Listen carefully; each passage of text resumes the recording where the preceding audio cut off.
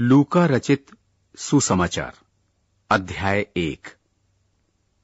इसलिए कि बहुतों ने उन बातों का जो हमारे बीच में बीती हैं, इतिहास लिखने में हाथ लगाया है। जैसा कि उन्होंने जो पहले ही से इन बातों के देखने वाले और वचन के सेवक थे, हम तक पहुँचाया। इसलिए हे श्रीमान थ्यूपलिस मुझे भी यह उचित लगा कि उन सब बातों का संपूर्ण हाल आरंभ से ही ठीक ठाक जाँच करके उन्हें तेरे लिए क्रमानुसार लिखूं।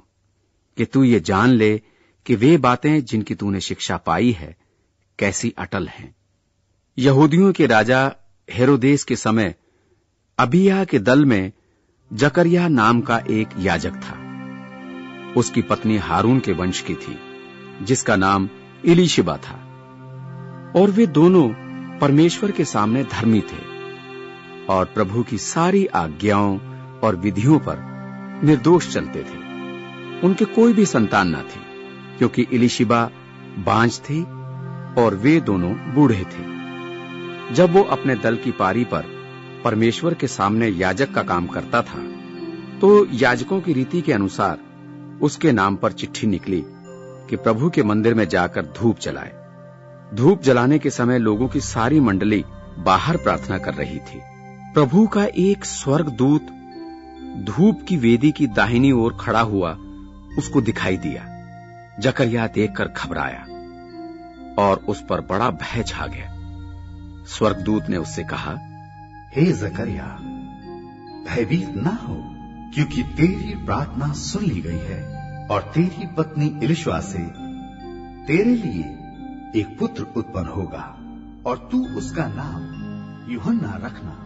तुझे आनंद और हर्ष होगा और बहुत लोग उसके जन्म के कारण आनंदित होंगे। वो प्रभु के सामने महान होगा। वो दाखरस और मदिरा कभी न पिएगा। और अपनी माता के गर्भ ही से पवित्र आत्मा से परिपूर्ण हो जाएगा। वो इसराइलियों में से बहुतों को उनके प्रभु परमेश्वर की ओर फेरेगा और एलिया की आत्मा और सामर्थ में होकर उसके आगे आगे चलेगा कि पितरों का मन लड़के वालों की ओर फेर दे और आज्ञा ना मानने वालों को धर्मियों की समझ पर लाए और प्रभु के लिए एक योग्य प्रजा तैयार करे। जकरिया ने स्वर्गदूत से पूछा ये मैं कैसे जानूं? मैं तो बूढ़ा हूँ और मेरी पत्नी भी बूढ़ी हो गई है। स्वर्गदूत ने उसको उत्तर दिया। मैं जिब्राइल हूँ जो परमेश्वर के सामने खड़ा रहता हूँ और मैं तुझसे बातें करने और तुझे ये सुसमाचार सुनाने को भेजा गया हूँ। और देख जिस दिन तक ये बातें पूरी ना हो ले उस दिन तक तू मौन रहेगा और बोल ना सकेगा क्योंकि तूने मेरी बातों की, जो अपने समय पर पूरी होंगी, प्रतीति ना की। लोग जकरिया की बाट जोते रहे और अचंभा करने लगे कि उसे मंदिर में ऐसी देर क्यों लगी। जब वो बाहर आया तो उनसे बोल न सका। सो वे जान गए कि उसने मंदिर में कोई दर्शन पाया है। और वो उनसे संकेत करता रहा और गूँगा रहा। जब उसकी सेवा के दिन पूरे हुए तो वो अपने घर चला गया। इन दिनों के बाद उसकी पत्नी इलिशिबा गर्भवती हुई और पाँच महीने तक अपने आप को ये कहकर छिपाए रखा कि मनुष्यों में मेरा अपमान दूर करने के लिए प्रभु ने इन दिनों में कृपा दृष्टि करके मेरे लिए ऐसा किया है।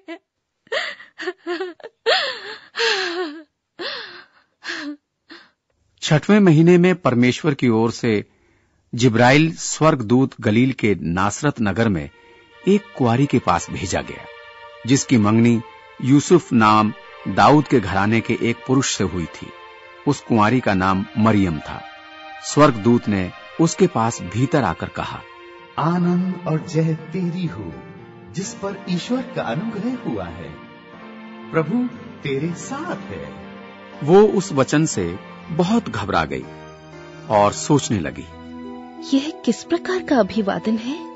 स्वर्गदूत ने उससे कहा हे मरियम भयभीत ना हो क्योंकि परमेश्वर का अनुग्रह तुझ पर हुआ है। और देख तू गर्भवती होगी और तेरे एक पुत्र उत्पन्न होगा। उसका नाम यीशु रखना वो महान होगा। और परम प्रधान का पुत्र कहलाएगा। और प्रभु परमेश्वर उसके पूर्वज दाऊद का सिंहासन उसको देगा और वो याकूब के घराने पर सदा राज्य करेगा और उसके राज्य का अंत ना होगा। मरियम ने स्वर्गदूत से कहा यह क्यों कर होगा? मैं तो पुरुष को जानती ही नहीं। स्वर्गदूत ने उसको उत्तर दिया पवित्र आत्मा तुझ पर उतरेगा। और परम प्रधान की सामर्थ तुझ पर छाया करेगी। इसलिए वो पवित्र जो उत्पन्न होने वाला है परमेश्वर का पुत्र कहलाएगा। और देख, तेरी कुटुंबनी इलिश्वा की भी बुढ़ापे में पुत्र होने वाला है। ये उसका जो बांझ कहलाती थी, छठवा महीना है। क्योंकि जो वचन परमेश्वर की ओर से होता है, वो प्रभाव रहित नहीं होता। मरियम ने कहा देख मैं प्रभु की दासी हूँ मुझे तेरे वचन के अनुसार हो। तब स्वर्ग स्वर्गदूत उसके पास से चला गया। उन दिनों में मरियम उठकर शीघ्र ही पहाड़ी देश में यहूदा के एक नगर को गई और जकरयाह के घर में जाकर उसने इलिशिबा को नमस्कार किया। जो ही इलिशिबा ने मरियम का नमस्कार सुना त्यों ही बच्चा उसके पेट में उछला। और इलिशिबा पवित्र आत्मा से परिपूर्ण हो गई और उसने बड़े शब्द से पुकार कर कहा, तू स्त्रियों में धन्य है। तेरे पेट का फल धन्य है। ये अनुग्रह मुझ पर कहा से हुआ कि मेरे प्रभु की माता मेरे पास आई? देख जो ही तेरे नमस्कार का शब्द मेरे कानों में पड़ा। त्यों ही बच्चा मेरे पेट में आनंद से उछल पड़ा। धन्य है वो जिसने विश्वास किया कि जो बातें प्रभु की ओर से उससे कही गई वो पूरी होगी। तब मरियम ने कहा मेरा प्राण प्रभु की बड़ाई करता है और मेरी आत्मा मेरे उद्धार करने वाले परमेश्वर से आनंदित हुई, क्योंकि उसने अपनी दासी की दीनता पर दृष्टि की है। इसलिए देखो, अब से युग युग के लोग मुझे धन्य कहेंगे, क्योंकि उस शक्तिमान ने मेरे लिए बड़े बड़े काम किए हैं। उसका नाम पवित्र है।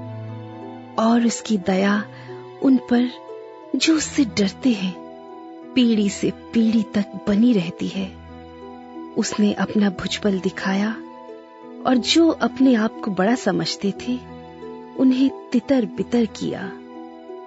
उसने बलवानों को सिंहासनों से गिरा दिया और दीनों को ऊँचा किया। उसने भूखों को अच्छी वस्तुओं से तृप्त किया और धनवानों को छूछे हाथ निकाल दिया।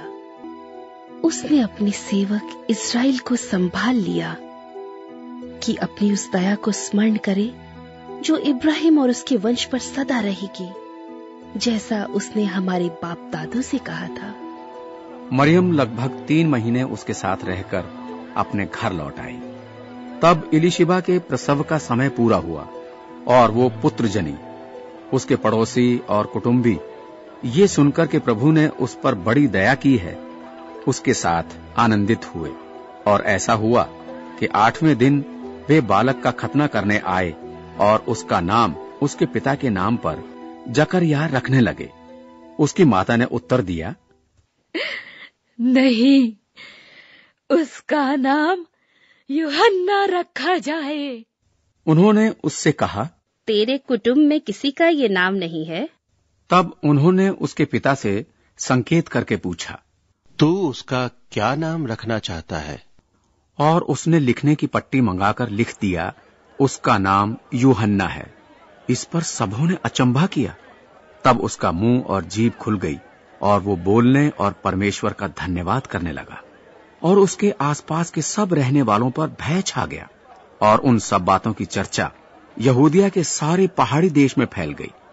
सब सुनने वालों ने अपने अपने मन में विचार करके कहा, प्रभु, इसराइल का परमेश्वर धन्य हो। उसने अपने लोगों पर दृष्टि की और उनका छुटकारा किया है और अपने सेवक दाऊद के घराने में हमारे लिए एक उद्धार का सींग निकाला है।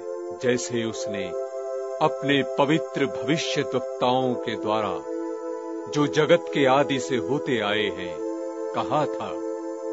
अर्थात, हमारे शत्रुओं से और हमारे सब बैरियों के हाथ से हमारा उद्धार किया है, कि हमारे बाप दादों पर दया करके अपने पवित्र वाचा का स्मरण करें। और वो शपथ जो उसने हमारे पिता इब्राहिम से खाई थी, कि वो हमें ये देगा कि हम अपने शत्रुओं के हाथ से छूटकर उसके सामने पवित्रता और धार्मिकता से जीवन भर निडर रहकर उसकी सेवा करते रहे। और तू, हे बालक, परम प्रधान का भविष्य दुक्ता कहलाएगा, क्योंकि तू प्रभु के मार्ग तैयार करने के लिए उसके आगे आगे चलेगा कि उसके लोगों को उद्धार का ज्ञान दे, जो उनके पापों की क्षमा से प्राप्त होता है। ये हमारे परमेश्वर की उसी बड़ी करुणा से होगा, जिसके कारण ऊपर से हम पर भोर का प्रकाश उदय होगा, कि अंधकार और मृत्यु की छाया में बैठने वालों को ज्योति दे और हमारे पांवों को कुशल के मार्ग में सीधे चलाए। और वो बालक बढ़ता और आत्मा में बलवंत होता गया और इसराइल पर प्रकट होने के दिन तक जंगलों में रहा। अध्याय दो। उन दिनों में ऑगस्तुस कैसर की ओर से आज्ञा निकली कि सारे जगत के लोगों के नाम लिखे जाएँ। ये पहली नाम लिखाई उस समय हुई जब क्यूरनियस सूर्या का हाकिम था। तब सब लोग नाम लिखवाने के लिए अपने अपने नगर को गए। सो यूसुफ भी, इसलिए कि वो दाऊद के घराने और वंश का था। गलील के नासरत नगर से यहूदिया में दाऊद के नगर बैतलहम को गया कि अपनी मंगेतर मरियम के साथ जो गर्भवती थी, नाम लिखवाए। उनके वहाँ रहते हुए उसके जनने के दिन पूरे हुए।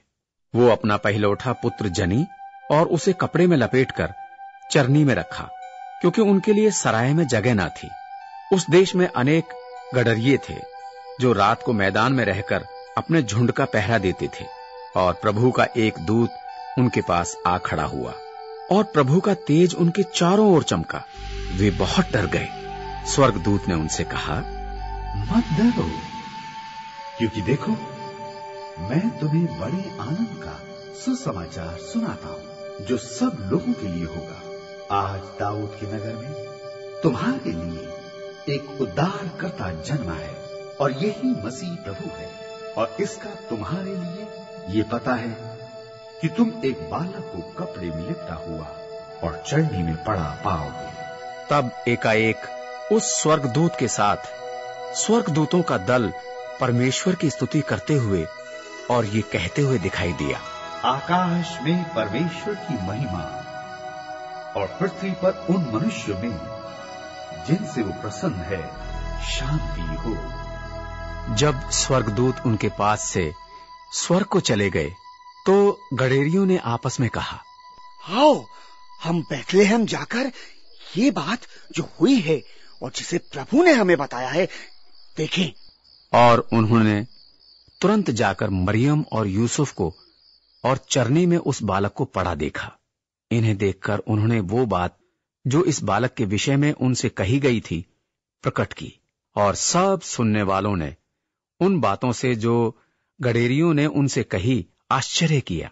परंतु मरियम ये सब बातें अपने मन में रखकर सोचती रही और गडरिये जैसा उनसे कहा गया था, वैसा ही सब सुनकर और देखकर परमेश्वर की महिमा और स्तुति करते हुए लौट गए। जब आठ दिन पूरे हुए और उसके खतने का समय आया तो उसका नाम यूशु रखा गया, जैसा स्वर्गदूत ने उसके पेट में आने से पहले कहा था। जब मूसा की व्यवस्था के अनुसार उनके शुद्ध होने के दिन पूरे हुए तो वे उसे यरूशलेम में ले गए, कि प्रभु के सामने लाए। जैसा कि प्रभु की व्यवस्था में लिखा है कि, हर एक पहलौठा प्रभु के लिए पवित्र ठहरेगा। और प्रभु की व्यवस्था के वचन के अनुसार।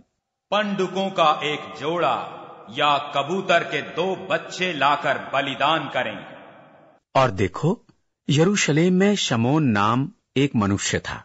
वो मनुष्य धर्मी और भक्त था और इसराइल की शांति की बाट जो रहा था और पवित्र आत्मा उस पर था। पवित्र आत्मा से उसको चेतावनी हुई थी कि जब तक वो प्रभु के मसीह को देख न लेगा तब तक मृत्यु को ना देखेगा।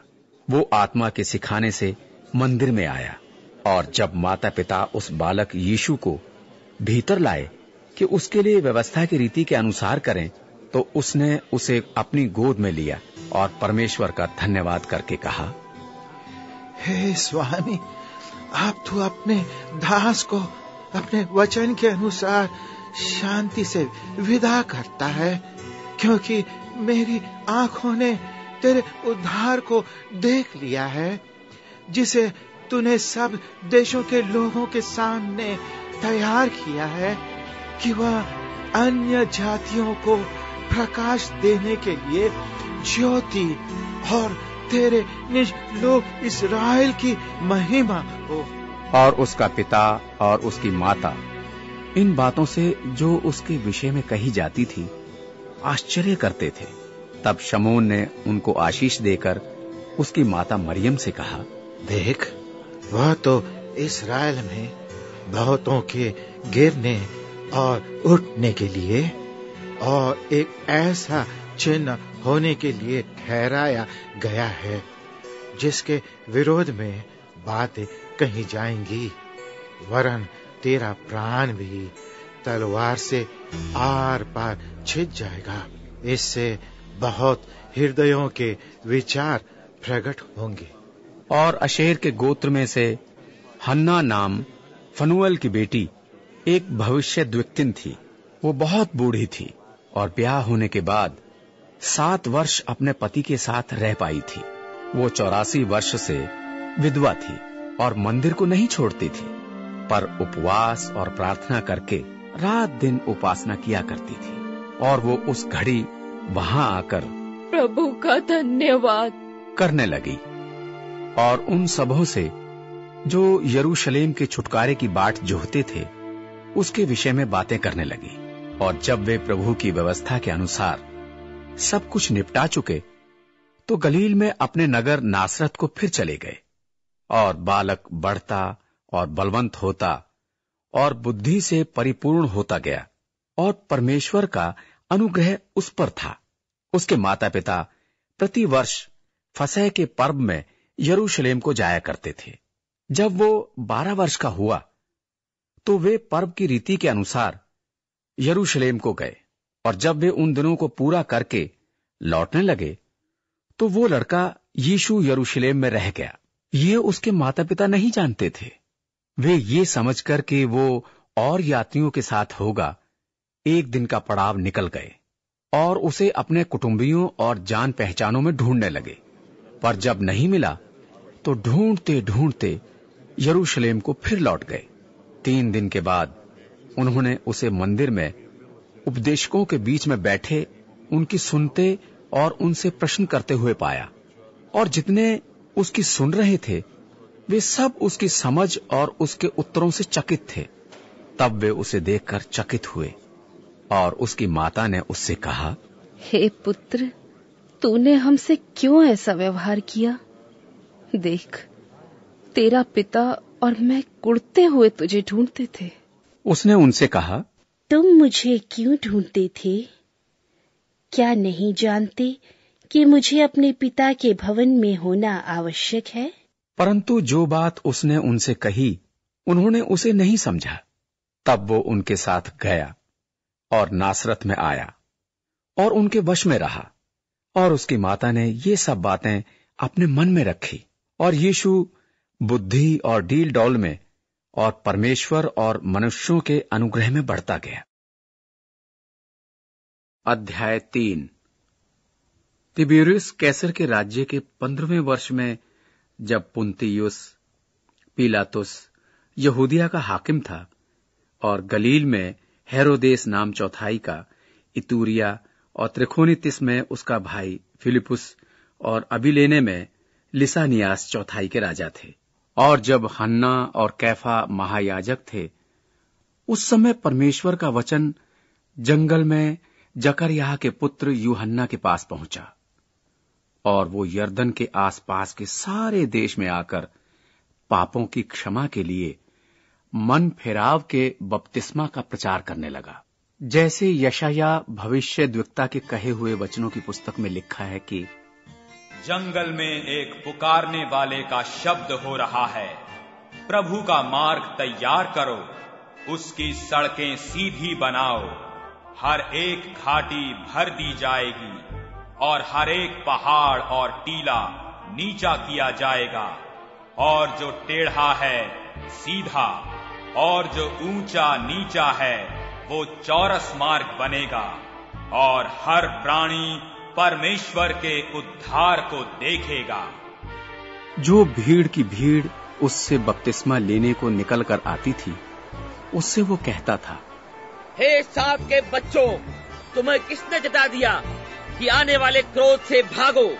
सो मन फिराव के योग्य फल लाओ। और अपने अपने मन में ये न सोचो कि हमारा पिता इब्राहिम है क्योंकि मैं तुमसे कहता हूँ कि परमेश्वर इन पत्थरों से इब्राहिम के लिए संतान उत्पन्न कर सकता है। और अभी कुल्हाड़ा पेड़ों की जड़ पर धरा है। इसलिए जो पेड़ अच्छा फल नहीं लाता वो काटा और आग में झोंका जाता है। लोगों ने उससे पूछा तो हम क्या करें?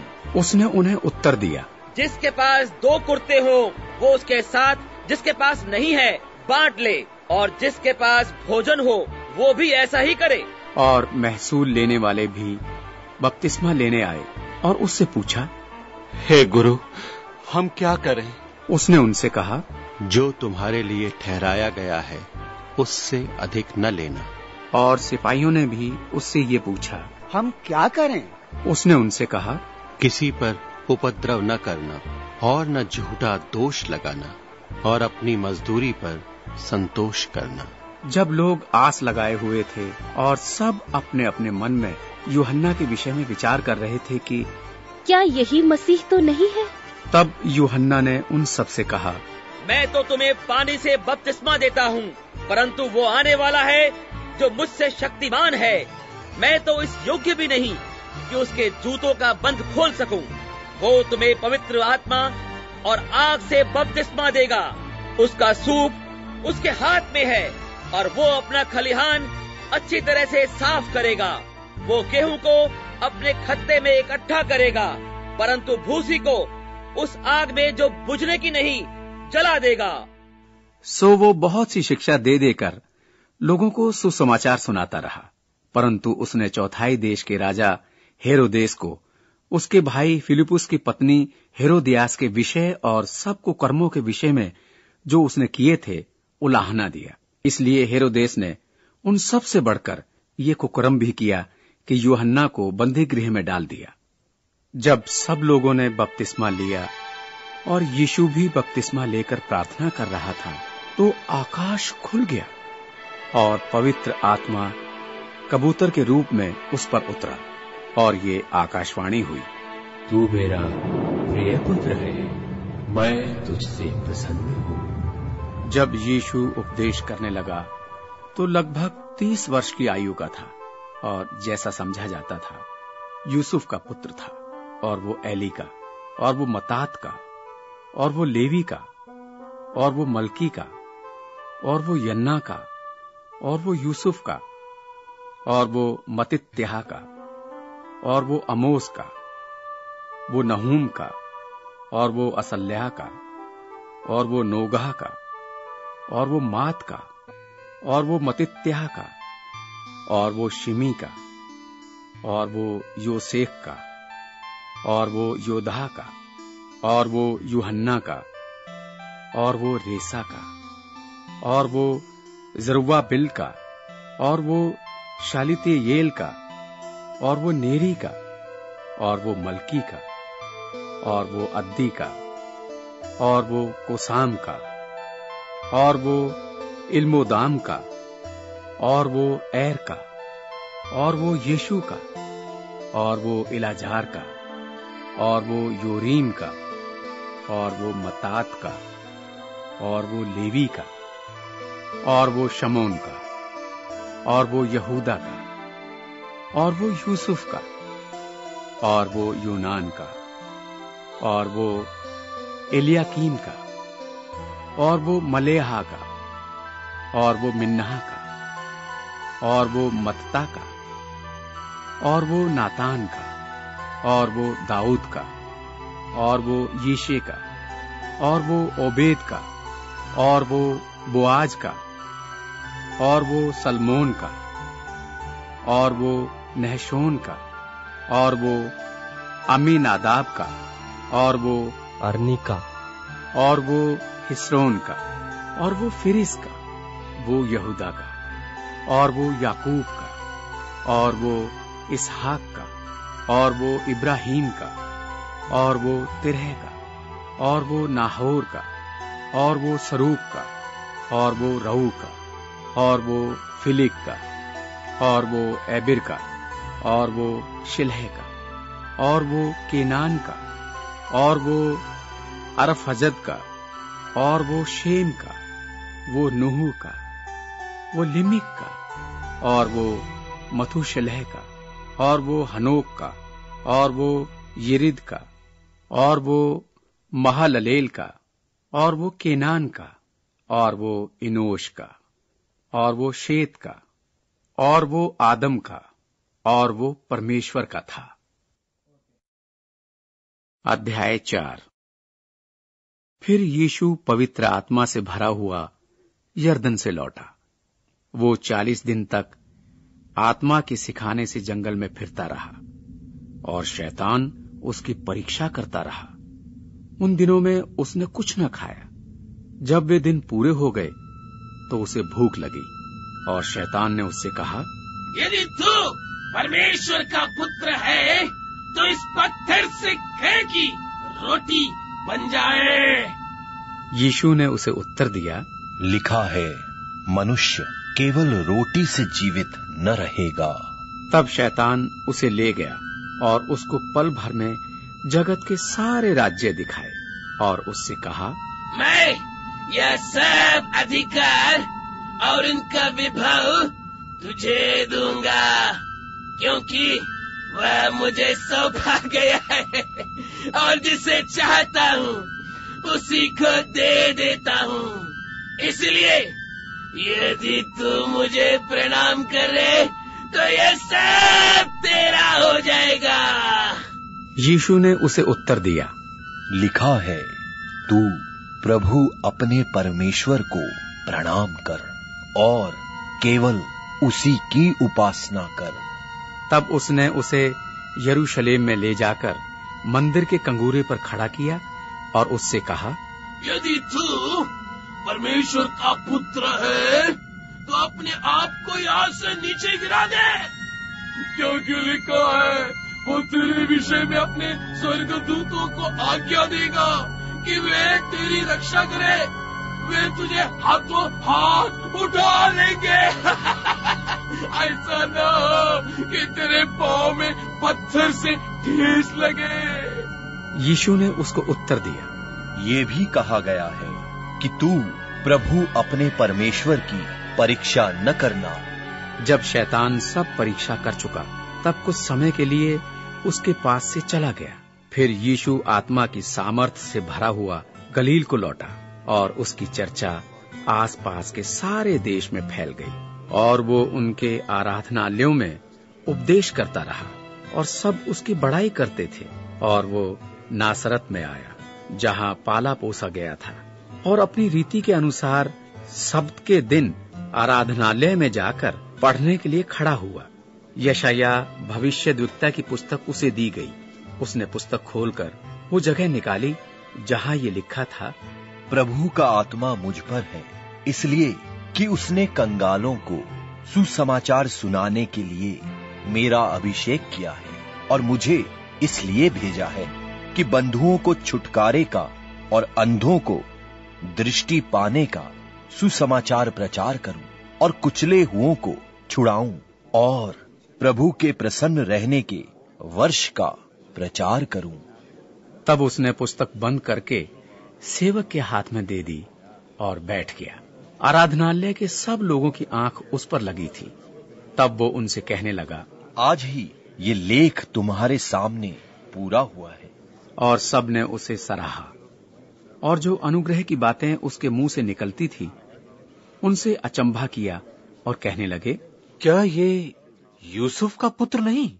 उसने उनसे कहा तुम मुझ पर ये कहावत अवश्य कहोगे। हे वैद्य अपने आप को अच्छा कर। जो कुछ हमने सुना है कि कफर नहूम में किया गया है उसे यहाँ अपने देश में भी कर। और उसने कहा मैं तुमसे सच कहता हूँ कोई भविष्य द्वक्ता अपने देश में मान सम्मान नहीं पाता। और मैं तुमसे कहता हूँ इलियाह के दिनों में जब साढ़े तीन वर्ष तक आकाश बंद रहा यहाँ तक कि सारे देश में बड़ा अकाल पड़ा तो इसराइल में बहुत सी विधवाएँ थीं, पर एलियाह उनमें से किसी के पास नहीं भेजा गया। केवल सैदा के सारफत में एक विधवा के पास इलीशा भविष्य द्वक्ता के समय इसराइल में बहुत से कोड़ी थे, पर नामान सूर्यानी को छोड़ उनमें से कोई शुद्ध नहीं किया गया। ये बातें सुनते ही जितने आराधनालय में थे, सब क्रोध से भर गए। उन्होंने उठकर उसे नगर से बाहर निकाला और जिस पहाड़ पर उनका नगर बसा हुआ था, उसकी चोटी पर वे उसे ले गए कि उसे वहाँ से नीचे गिरा दें। पर वो उनके बीच में से निकलकर चला गया। फिर वो गलील के कफर नहूम नगर में गया और सप्त के दिन लोगों को उपदेश दे रहा था। वे उसके उपदेश से चकित हो गए, क्योंकि उसका वचन अधिकार सहित था। आराधनालय में एक मनुष्य था, जिसमें अशुद्ध आत्मा थी। वो ऊँचे शब्द से चिल्ला उठा। यीशु नासरी हमें तुझसे क्या काम?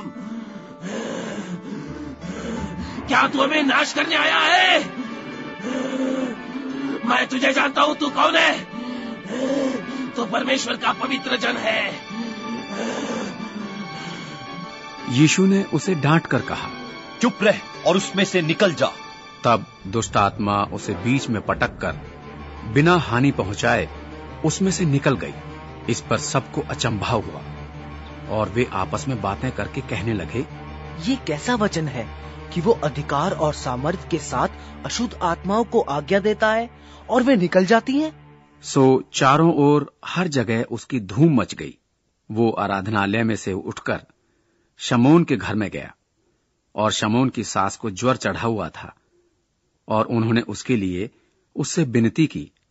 उसने उसके निकट खड़े होकर ज्वर को डांटा और उस पर से ज्वर उतर गया और वो तुरंत उठकर उनकी सेवा टहल करने लगी। सूरज डूबते समय जिन जिन के यहाँ लोग नाना प्रकार की बीमारियों में पड़े हुए थे वे सब उन्हें उसके पास ले आए और उसने प्रत्येक पर हाथ रखकर उन्हें चंगा किया। और दुष्ट आत्मा भी चिल्लाती और ये कहती हुई कि तू परमेश्वर का पुत्र है। बहुतों में से निकल गई पर वो उन्हें डांटता और बोलने नहीं देता था क्योंकि वे जानती थी कि ये मसीह है। जब दिन हुआ तो वो निकलकर एक जंगली जगह में गया। और भीड़ की भीड़ उसे ढूंढती हुई उसके पास आई और उसे रोकने लगी कि उनके पास से ना जाए। परंतु उसने उनसे कहा मुझे और और नगरों में भी परमेश्वर के राज्य का सुसमाचार सुनाना आवश्यक है क्योंकि मैं इसलिए भेजा गया हूँ। और वो गलील के आराधनालयों में प्रचार करता रहा। अध्याय पाँच। जब भीड़ उस पर गिरी पड़ती थी और परमेश्वर का वचन सुनती थी और वो गन्ने सरत की झील के किनारे पर खड़ा था, तब ऐसा हुआ कि उसने झील के किनारे दो नावें लगी हुई देखी और मछुए उन पर से उतरकर जाल धो रहे थे। उन नावों में से एक पर जो शमोन की थी, चढ़कर उसने उससे विनती की कि किनारे से थोड़ा हटा ले चले। तब वो बैठकर लोगों को नाव पर से उपदेश देने लगा। जब वो बातें कर चुका तो शमोन से कहा गहरे में ले चल और मछलियाँ पकड़ने के लिए अपने जाल डाल। शमोन ने उसको उत्तर दिया हे स्वामी हमने सारी रात मेहनत की और कुछ न पकड़ा तो भी तेरे कहने से जाल डालूँगा। जब उन्होंने ऐसा किया तो बहुत मछलियाँ घेर लाए और उनके जाल फटने लगे। इस पर उन्होंने अपने साथियों को जो दूसरी नाव पर थे संकेत किया कि आकर उनकी सहायता करें। और उन्होंने आकर दोनों नावें यहाँ तक भर ली कि वे डूबने लगी। ये देखकर शमोन पतरस यीशु के पांवों पर गिरा और कहने लगा हे प्रभु मेरे पास से जा क्योंकि मैं पापी मनुष्य हूँ। इतनी मछलियों के पकड़े जाने से उसे और उसके साथियों को बहुत अचंबा हुआ। वैसे ही जब्दी के पुत्र याकूब और यूहन्ना को भी जो शमोन के साथी थे अचंभा हुआ। तब यीशु ने शमोन से कहा मत डर अब से तू मनुष्यों को जीवता पकड़ा करेगा। और वे नामों को किनारे पर ले आए और सब कुछ छोड़कर उसके पीछे हो लिए। जब वो किसी नगर में था तो देखो वहाँ कोड़ से भरा हुआ एक मनुष्य था। वो यीशु को देखकर मुँह के बल गिरा। उसने विनती की हे प्रभु यदि तू चाहे तो मुझे शुद्ध कर सकता है। उसने हाथ बढ़ाकर उसे छुआ और कहा मैं चाहता हूँ तू शुद्ध हो जा। और उसका कोड़ तुरंत जाता रहा। तब उसने उसे चिताया कि किसी से न कहे परंतु जाकर अपने आप को याजक को दिखाए और अपने शुद्ध होने के विषय में जो कुछ मूसा ने चढ़ावा ठहराया है उसे चढ़ाए कि उन पर गवाही हो। परंतु उसकी चर्चा और भी फैलती गई और भीड़ की भीड़ उसकी सुनने के लिए और अपनी बीमारियों से चंगे होने के लिए इकट्ठी हुई। परंतु वो जंगलों में अलग जाकर प्रार्थना किया करता था और एक दिन ऐसा हुआ कि वो उपदेश दे रहा था और फरीसी और व्यवस्थापक वहाँ बैठे हुए थे, जो गलील और यहूदिया के हर एक गाँव से और यरूशलेम से आए थे। और चंगा करने के लिए प्रभु की सामर्थ उसके साथ थी। और देखो, कई लोग एक मनुष्य को जो झोले का मारा हुआ था, खाट पर लाए। वे उसे भीतर ले जाने और यीशु के सामने रखने का उपाय ढूंढ रहे थे। जब वे भीड़ के कारण उसे भीतर ना ले जा सके तो उन्होंने कोठे पर चढ़कर और खपरेल हटाकर उसे खाट समेत लोगों के बीच में यीशु के सामने उतार दिया। यीशु ने उनका विश्वास देखकर उससे कहा हे मनुष्य तेरे पाप क्षमा हुए। तब शास्त्री और फरीसी विवाद करने लगे। ये कौन है जो परमेश्वर की निंदा करता है? परमेश्वर को छोड़ कौन पापों को क्षमा कर सकता है? यीशु ने उनके मन की बातें जानकर उनसे पूछा तुम अपने मनों में क्या विवाद कर रहे हो? सहज क्या है? ये कहना कि तेरे पाप क्षमा हुए या ये कि उठ और चल फिर परंतु इसलिए कि तुम जानो कि मनुष्य के पुत्र को पृथ्वी पर पाप क्षमा करने का भी अधिकार है। उसने उस झोले के मारे हुए से कहा मैं तुझसे कहता हूँ उठ और अपनी खाट उठाकर अपने घर चला जा। वो तुरंत उनके सामने उठा और जिस खाट पर वो पड़ा था उसे उठाकर परमेश्वर की बड़ाई करता हुआ अपने घर चला गया। तब सब चकित हुए और परमेश्वर की बड़ाई करने लगे और बहुत डरकर कहने लगे आज हमने अनोखी बातें देखी हैं। इसके बाद वो बाहर गया और लेवी नाम एक चुंगी लेने वाले को चुंगी की चौकी पर बैठे देखा और उससे कहा मेरे पीछे हो ले। तब वो सब कुछ छोड़कर उठा और उसके पीछे हो लिया। लेवी ने अपने घर में उसके लिए बड़ी जेवनार की चुंगी लेने वालों की और औरों की जो उसके साथ भोजन करने बैठे थे एक बड़ी भीड़ थी। फरीसी और उनके शास्त्री उसके चेलों से ये कहकर कुड़कुड़ाने लगे तुम चुंगी लेने वालों और पापियों के साथ क्यों खाते पीते हो? यीशु ने उनको उत्तर दिया वैद्य भले चंगों के लिए नहीं परंतु बीमारों के लिए आवश्यक है। मैं धर्मियों को नहीं परंतु पापियों को मन फिराने के लिए बुलाने आया हूँ। और उन्होंने उससे कहा यूहन्ना के चेले तो बराबर उपवास रखते और प्रार्थना किया करते हैं और वैसे ही फरीसियों के भी परंतु तेरे चेले तो खाते पीते हैं। यीशु ने उनसे कहा क्या तुम बरातियों से जब तक दुल्हा उनके साथ रहे उपवास करवा सकते हो परंतु वे दिन आएँगे जिनमें दूल्हा उनसे अलग किया जाएगा। तब उन दिनों में वे उपवास करेंगे। उसने एक और दृष्टांत भी उनसे कहा। कोई मनुष्य नए पहिरावन में से फाड़कर पुराने पहिरावन में पैवंद नहीं लगाता नहीं तो नया फट जाएगा और वो पैवंद पुराने में मेल भी नहीं खाएगा और कोई नया दाखरस पुरानी मशकों में नहीं भरता। नहीं तो नया दाखरस मशकों को फाड़कर बह जाएगा और मशकें भी नाश हो जाएँगी।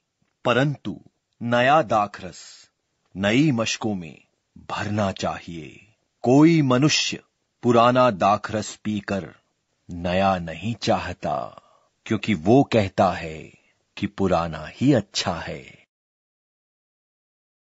अध्याय छ।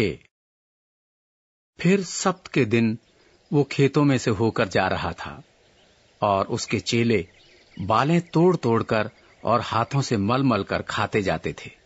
तब फरीसियों में से कई एक कहने लगे तुम वो काम क्यों करते हो जो सब्त के दिन करना उचित नहीं? यीशु ने उनको उत्तर दिया। क्या तुमने ये नहीं पढ़ा कि दाऊद ने जब वो और उसके साथी भूखे थे तो क्या किया?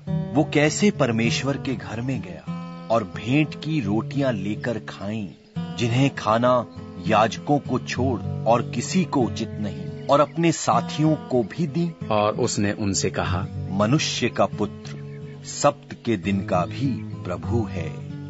और ऐसा हुआ कि किसी और सप्त के दिन वो आराधनालय में जाकर उपदेश करने लगा। वहाँ एक मनुष्य था जिसका दाहिना हाथ सूखा था।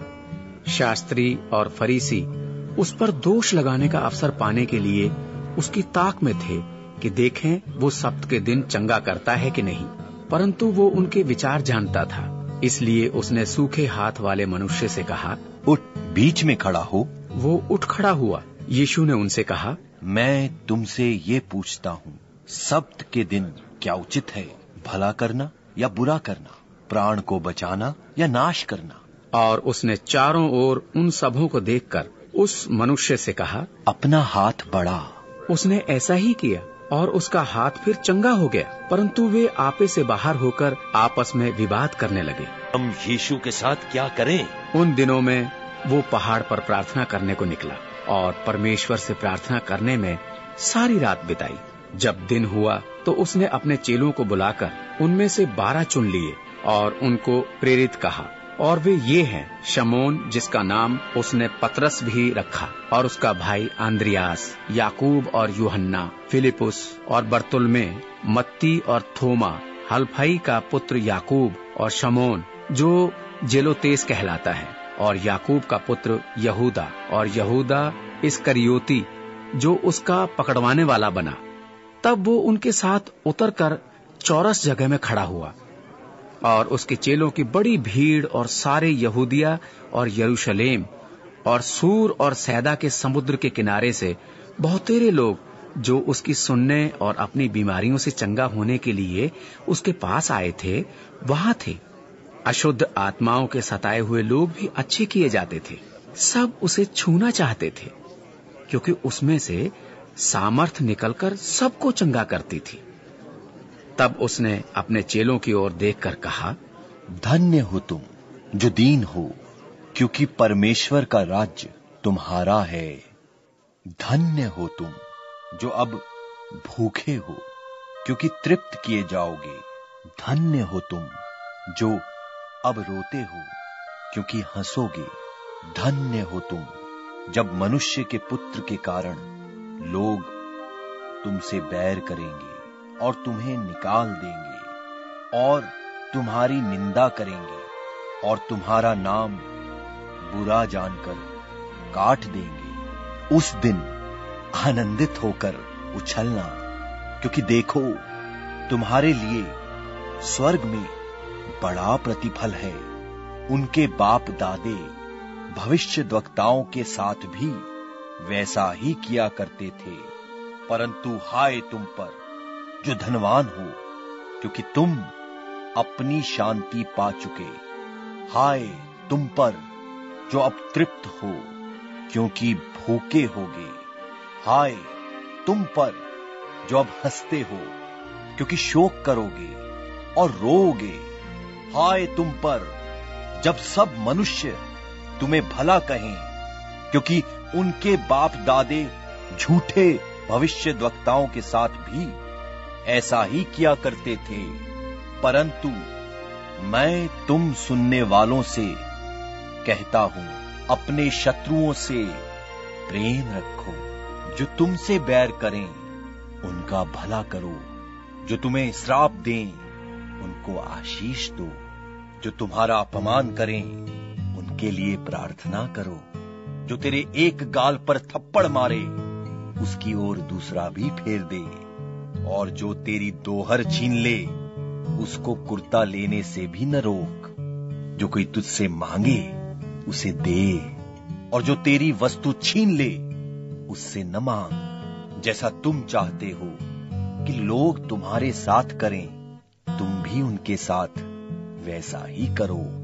यदि तुम अपने प्रेम रखने वालों के साथ प्रेम रखो तो तुम्हारी क्या बढ़ाई क्योंकि पापी भी अपने प्रेम रखने वालों के साथ प्रेम रखते हैं। और यदि तुम अपने भलाई करने वालों ही के साथ भलाई करते हो तो तुम्हारी क्या बड़ाई कि क्यों पापी भी ऐसा ही करते हैं? यदि तुम उन्हें उधार दो, जिनसे फिर पाने की आशा रखते हो तो तुम्हारी क्या बड़ाई? क्योंकि पापी पापियों को उधार देते हैं कि उतना ही फिर पाए। परन अपने शत्रुओं से प्रेम रखो और भलाई करो और फिर पाने की आस न रखकर उधार दो। तुम्हारे लिए बड़ा फल होगा और तुम परम प्रधान की संतान ठहरोगे, क्योंकि वो कृतघ्नों और बुरों पर भी कृपालु है, जैसा तुम्हारा पिता दयावंत है। वैसे ही तुम भी दयावंत बनो। दोष मत लगाओ। तो तुम पर भी दोष नहीं लगाया जाएगा। दोषी ना ठहराओ। तो तुम भी दोषी नहीं ठहराए जाओगे। क्षमा करो तो तुम्हारी भी क्षमा की जाएगी। दिया करो तो तुम्हें भी दिया जाएगा। लोग पूरा नाप दबा दबा कर और हिला हिलाकर और उभरता हुआ तुम्हारी गोद में डालेंगे। क्योंकि जिस नाप से तुम नापते हो उसी से तुम्हारे लिए भी नापा जाएगा। फिर उसने उनसे एक दृष्टांत कहा। क्या अंधा अंधे को मार्ग बता सकता है? क्या दोनों गढ़े में नहीं गिरेंगे? चेला अपने गुरु से बड़ा नहीं परंतु जो कोई सिद्ध होगा वो अपने गुरु के समान होगा। तू अपने भाई की आँख के तिनके को क्यों देखता है? और अपनी ही आँख का लट्ठा तुझे नहीं सूझता। और जब तू अपनी ही आँख का लट्ठा नहीं देखता तो अपने भाई से कैसे कह सकता है, हे भाई, ठहर जा, तेरी आँख से तिनके को निकाल दूँ, हे कपटी। पहले अपनी आँख से लट्ठा निकाल। तब जो तिनका तेरे भाई की आँख में है, भली भांति देखकर निकाल सकेगा। कोई अच्छा पेड़ नहीं जो निकम्मा फल लाए, और न तो कोई निकम्मा पेड़ है जो अच्छा फल लाए।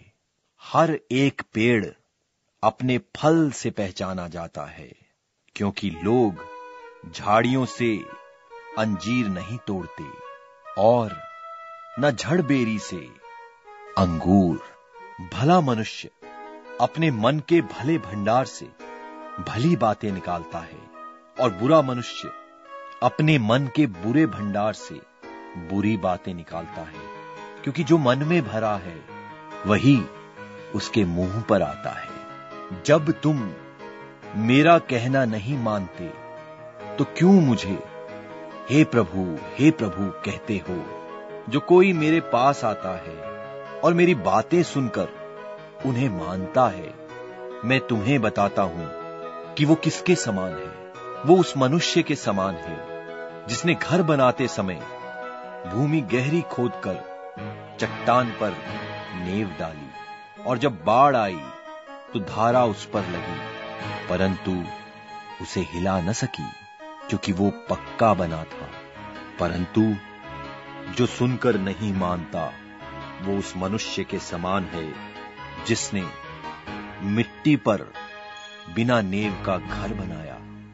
जब उस पर धारा लगी तो वो तुरंत गिर पड़ा और गिरकर सत्यानाश हो गया। अध्याय सात। जब वो लोगों को अपनी सारी बातें सुना चुका तो कफर नहूम में आया और किसी सूबेदार का एक दास जो उसका प्रिय था, बीमारी से मरने पर था। उसने यीशु की चर्चा सुनकर यहूदियों के कई पुर्नियों को उससे ये विनती करने को उसके पास भेजा कि आकर उसके दास को चंगा करे। वे यीशु के पास आकर उससे बड़ी विनती करके कहने लगे, वह इस योग्य है कि उसके लिए यह करे, क्योंकि वह हमारी जाति से प्रेम रखता है और उसी ने हमारे आराधनालय को बनाया है। यीशु उनके साथ साथ चला। पर जब वो घर से दूर न था तो सूबेदार ने उसके पास कई मित्रों के द्वारा कहला भेजा। हे प्रभु दुख ना उठा। मैं इस योग्य नहीं कि तू मेरी छत के तले आए। इसी कारण मैंने अपने आप को इस योग्य भी न समझा कि तेरे पास आऊँ। पर वचन ही कह दे तो मेरा सेवक चंगा हो जाएगा। मैं भी पराधीन मनुष्य हूँ और सिपाही मेरे हाथ में हैं। जब एक को कहता हूँ जा तो वो जाता है। और दूसरे से कहता हूँ आ तो आता है। और अपने किसी दास को कि ये कर तो वो उसे करता है। ये सुनकर यीशु ने अचंभा किया और उसने मुँह फेर कर उस भीड़ से जो उसके पीछे आ रही थी कहा मैं तुमसे कहता हूँ कि मैंने इसराइल में भी ऐसा विश्वास नहीं पाया। और भेजे हुए लोगों ने घर लौटकर उस दास को चंगा पाया। थोड़े दिन के बाद वो नाइन नाम एक नगर को गया। उसके चेले और बड़ी भीड़ भी उसके साथ जा रही थी। जब वो नगर के फाटक के पास पहुँचा तो देखा कि लोग एक मुर्दे को बाहर लिए जा रहे थे। वो अपनी माँ का इकलौता पुत्र था और वो विधवा थी। नगर के बहुत से लोग उसके साथ थे। उसे देखकर प्रभु को तरस आया और उससे कहा मत रो। तब उसने पास आकर अर्थी को छुआ और उठाने वाले ठहर गए। तब उसने कहा हे जवान मैं तुझसे कहता हूँ उठ। तब वो मुर्दा उठ बैठा और बोलने लगा और उसने उसे उसकी माँ को सौंप दिया। इससे सब पर भय छा गया।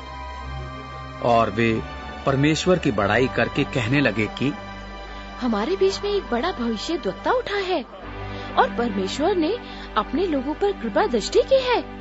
उसके विषय में ये बात सारे यहूदिया और आसपास के सारे देश में फैल गई। यूहन्ना को उसके चेलों ने इन सब बातों का समाचार दिया। तब यूहन्ना ने चेलों में से दो को बुलाकर प्रभु के पास ये पूछने के लिए भेजा कि क्या आने वाला तू ही है या हम किसी और दूसरे की बात देखें? उन्होंने उसके पास आकर कहा यूहन्ना बपतिस्मा देने वाले ने हमें तेरे पास ये पूछने को भेजा है कि क्या आने वाला तू ही है या हम दूसरे की बाट जो है उसी घड़ी उसने बहुतों को बीमारियों और पीड़ाओं और दुष्ट आत्माओं से छुड़ाया और उसने बहुत से अंधों को आँखें दी और उनसे कहा जो कुछ तुमने देखा और सुना है जाकर यूहन्ना से कह दो। अंधे देखते हैं लंगड़े चलते फिरते हैं कोड़ी शुद्ध किए जाते हैं बहरे सुनते हैं मुर्दे जिलाए जाते हैं और कंगालों को सुसमाचार सुनाया जाता है।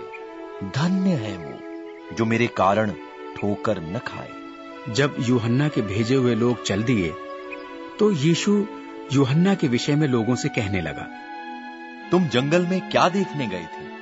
क्या हवा से हिलते हुए सरकंडे को? तो फिर तुम क्या देखने गए थे? क्या कोमल वस्त्र पहने हुए मनुष्य को? देखो, जो भड़कीला वस्त्र पहनते और सुख विलास से रहते हैं, वे राजभवनों में रहते हैं। तो फिर क्या देखने गए थे? क्या किसी भविष्य द्वक्ता को? हाँ मैं तुमसे कहता हूँ, वरन भविष्य द्वक्ता से भी बड़े को। ये वही है जिसके विषय में लिखा है, देख, मैं अपने दूत को तेरे आगे भेजता हूँ, जो तेरे आगे मार्ग सीधा करेगा। मैं तुमसे कहता हूँ, जो स्त्रियों से जन्मे हैं, उनमें से यूहन्ना से बड़ा कोई नहीं, पर जो परमेश्वर के राज्य में छोटे से छोटा है, वो उससे भी बड़ा है। और सब साधारण लोगों ने सुनकर और चुंगी लेने वालों ने भी यूहन्ना का बपतिस्मा लेकर परमेश्वर को सच्चा मान लिया। पर फरीसियों और व्यवस्थापकों ने उससे बपतिस्मा न लेकर परमेश्वर की मनसा को अपने विषय में टाल दिया। सो, मैं इस युग के लोगों की उपमा किससे दूँ? वे किसके समान हैं? वे उन बालकों के समान हैं, जो बाज़ार में बैठे हुए एक दूसरे से पुकार कर कहते हैं, हमने तुम्हारे लिए बांसुरी बजाई और तुम ना, नाचे। हमने विलाप किया और तुम न रोए, क्योंकि यूहन्ना बपतिस्मा देने वाला न रोटी खाता आया, न दाख रस पीता आया और तुम कहते हो उसमें दुष्ट आत्मा है मनुष्य का पुत्र खाता पीता आया है।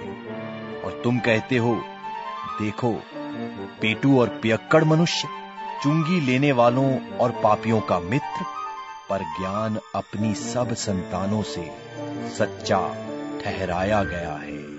फिर किसी फरीसी ने उससे विनती की मेरे साथ भोजन कर। सो वो उस फरीसी के घर में जाकर भोजन करने बैठा। और देखो, उस नगर की एक पापनी स्त्री ये जानकर कि वो फरीसी के घर में भोजन करने बैठा है, संगमरमर के पात्र में इत्र लेकर आई। वो रोती हुई उसके पाँव के पास, पीछे खड़ी होकर उसके पाँव को आंसुओं से भिगोने और अपने सिर के बालों से पोंछने लगी। उसने उसके पाँव बार बार चूम कर उन पर इत्र मला।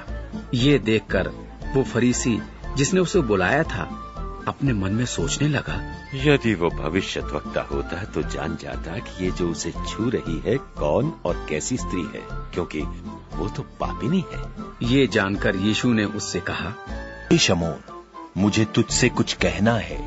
वो बोला हे गुरु क्या किसी महाजन के दो देनदार थे। एक पाँच सौ और दूसरा पचास दिनार धारता था। जब उनके पास पटाने को कुछ न रहा तो उसने दोनों को क्षमा कर दिया। उनमें से कौन उससे अधिक प्रेम रखेगा? शमोन ने उत्तर दिया मेरी समझ में वो जिसका उसने अधिक छोड़ दिया। उसने उससे कहा तूने ठीक विचार किया है। और उस स्त्री की ओर फिरकर उसने शमोन से कहा क्या तू इस स्त्री को देखता है? मैं तेरे घर में आया परंतु तूने मेरे पाँव धोने के लिए पानी न दिया, पर इसने मेरे पाँव आंसुओं से भिगाए और अपने बालों से पोंछा। तूने मुझे चूमा न दिया, पर जब से मैं आया हूँ, तब से इसने मेरे पावों का चूमना न छोड़ा। तूने मेरे सिर पर तेल नहीं मला, पर इसने मेरे पावों पर इत्र मला है। इसलिए मैं तुझसे कहता हूँ, इसके पाप जो बहुत थे क्षमा हुए क्योंकि इसने बहुत प्रेम किया पर जिसका थोड़ा क्षमा हुआ है वो थोड़ा प्रेम करता है। और उसने स्त्री से कहा तेरे पाप क्षमा हुए। तब जो लोग उसके साथ भोजन करने बैठे थे वे अपने अपने मन में सोचने लगे। यह कौन है जो पापों की भी क्षमा करता है? पर उसने स्त्री से कहा तेरे विश्वास ने तुझे बचा लिया है कुशल से चली जा। अध्याय आठ। इसके बाद वो नगर नगर और गाँव गाँव प्रचार करता हुआ और परमेश्वर के राज्य का सुसमाचार सुनाता हुआ फिरने लगा। और वे बारह उसके साथ थे। और कितनी स्त्रियाँ भी जो दुष्ट आत्माओं से और बीमारियों से छुड़ाई गई थी। वे ये हैं मरियम, जो मगदलीनी कहलाती थी, जिसमें से सात दुष्ट आत्माएँ निकली थी। और हेरोदेश के भंडारी खोजा की पत्नी युअन्ना और सुसन्ना और बहुत सी और स्त्रियाँ। ये तो अपनी संपत्ति से उसकी सेवा करती थीं। जब बड़ी भीड़ इकट्ठी हुई और नगर नगर के लोग उसके पास चले आते थे तो उसने दृष्टांत में कहा, एक बोने वाला बीज बोने निकला। बोते हुए कुछ मार्ग के किनारे गिरा और रौंदा गया। और आकाश के पक्षियों ने उसे चुग लिया। कुछ चट्टान पर गिरा और उपजा, परंतु तरी न मिलने से सूख गया। कुछ झाड़ियों के बीच में गिरा और झाड़ियों ने साथ साथ बढ़कर उसे दबा लिया और कुछ अच्छी भूमि पर गिरा और उगकर सौ गुना फल लाया। ये कहकर उसने ऊँचे शब्द से कहा जिसके सुनने के कान हो वो सुन ले। उसके चेलों ने उससे पूछा ये दृष्टांत क्या है? उसने कहा तुमको परमेश्वर के राज्य के भेदों की समझ दी गई है पर औरों को दृष्टांतों में सुनाया जाता है। इसलिए कि वे देखते हुए भी न देखें और सुनते हुए भी न समझें। दृष्टांत ये है बीज तो परमेश्वर का वचन है। मार्ग के किनारे के वे हैं जिन्होंने सुना। तब शैतान आकर उनके मन में से वचन उठा ले जाता है। कहीं ऐसा न हो कि वे विश्वास करके उद्धार पाएँ। चट्टान पर के वे हैं कि जब सुनते हैं तो आनंद से वचन को ग्रहण तो करते हैं, परंतु जड़ न पकड़ने से वे थोड़ी देर तक विश्वास रखते हैं और परीक्षा के समय बहक जाते हैं। जो झाड़ियों में गिरा, सो वे हैं जो सुनते हैं, पर होते होते चिंता और धन और जीवन के सुख विलास में फंस जाते हैं और उनका फल नहीं पकता, पर अच्छी भूमि में के वे हैं जो वचन सुनकर भले और उत्तम मन में संभाले रहते हैं और धीरज से फल लाते हैं। कोई दिया वार के बर्तन से नहीं छिपाता और न खाट के नीचे रखता है, परंतु दीवट पर रखता है कि भीतर आने वाले प्रकाश पाए। कुछ छिपा नहीं जो प्रकट न हो और न कुछ गुप्त है जो जाना न जाए और प्रकट न हो। इसलिए चौकस रहो कि तुम किस रीति से सुनते हो? क्योंकि जिसके पास है उसे दिया जाएगा और जिसके पास नहीं है उससे वो भी ले लिया जाएगा जिसे वो अपना समझता है। उसकी माता और उसके भाई उसके पास आए पर भीड़ के कारण उससे भेंट ना कर सके और उससे कहा गया तेरी माता और तेरे भाई बाहर खड़े हुए तुझसे मिलना चाहते हैं। उसने उत्तर में उनसे कहा मेरी माता और मेरे भाई ये ही है जो परमेश्वर का वचन सुनते और मानते हैं। फिर एक दिन वो और उसके चेले नाव पर चढ़े और उसने उनसे कहा आओ झील के पार चलें। सो उन्होंने नाव खोल दी पर जब नाव चल रही थी तो वो सो गया और झील पर आंधी आई और नाव पानी से भरने लगी। और वे जोखिम में थे। तब उन्होंने पास आकर उसे जगाया और कहा स्वामी स्वामी हम नाश हुए जाते हैं। तब उसने उठकर आंधी को और पानी की लहरों को डांटा और वे थम गए और शांति हो गई। और उसने उनसे कहा तुम्हारा विश्वास कहाँ था? पर वे डर गए और अचंभित होकर आपस में कहने लगे यह कौन है जो आंधी और पानी को भी आज्ञा देता है और वे उसकी मानते हैं। फिर वे गिरासेनियों के देश में पहुँचे जो उस पार गलील के सामने है। जब वो किनारे पर उतरा तो उस नगर का एक मनुष्य उसे मिला। उसमें दुष्ट आत्माएँ थी और बहुत दिनों से वो ना कपड़े पहनता था और ना घर में रहता था वरन कब्रों में रहा करता था। वो यीशु को देखकर चिल्लाया और उसके सामने गिरकर ऊँचे शब्द से कहा हे प्रधान परमेश्वर के पुत्र यीशु, मुझे तुझसे क्या काम? मैं तेरी विनती करता हूँ मुझे पीड़ा न दे। क्योंकि वो उस अशुद्ध आत्मा को उस मनुष्य में से निकालने की आज्ञा दे रहा था, इसलिए कि वो उस पर बार बार प्रबल होती थी, और यद्यपि लोग उसे सांकलों और बेड़ियों से बांधते थे तो भी वो बंधनों को तोड़ डालता था और दुष्ट आत्मा उसे जंगल में भगाए फिरती थी। यीशु ने उससे पूछा तेरा क्या नाम है? उसने कहा सीना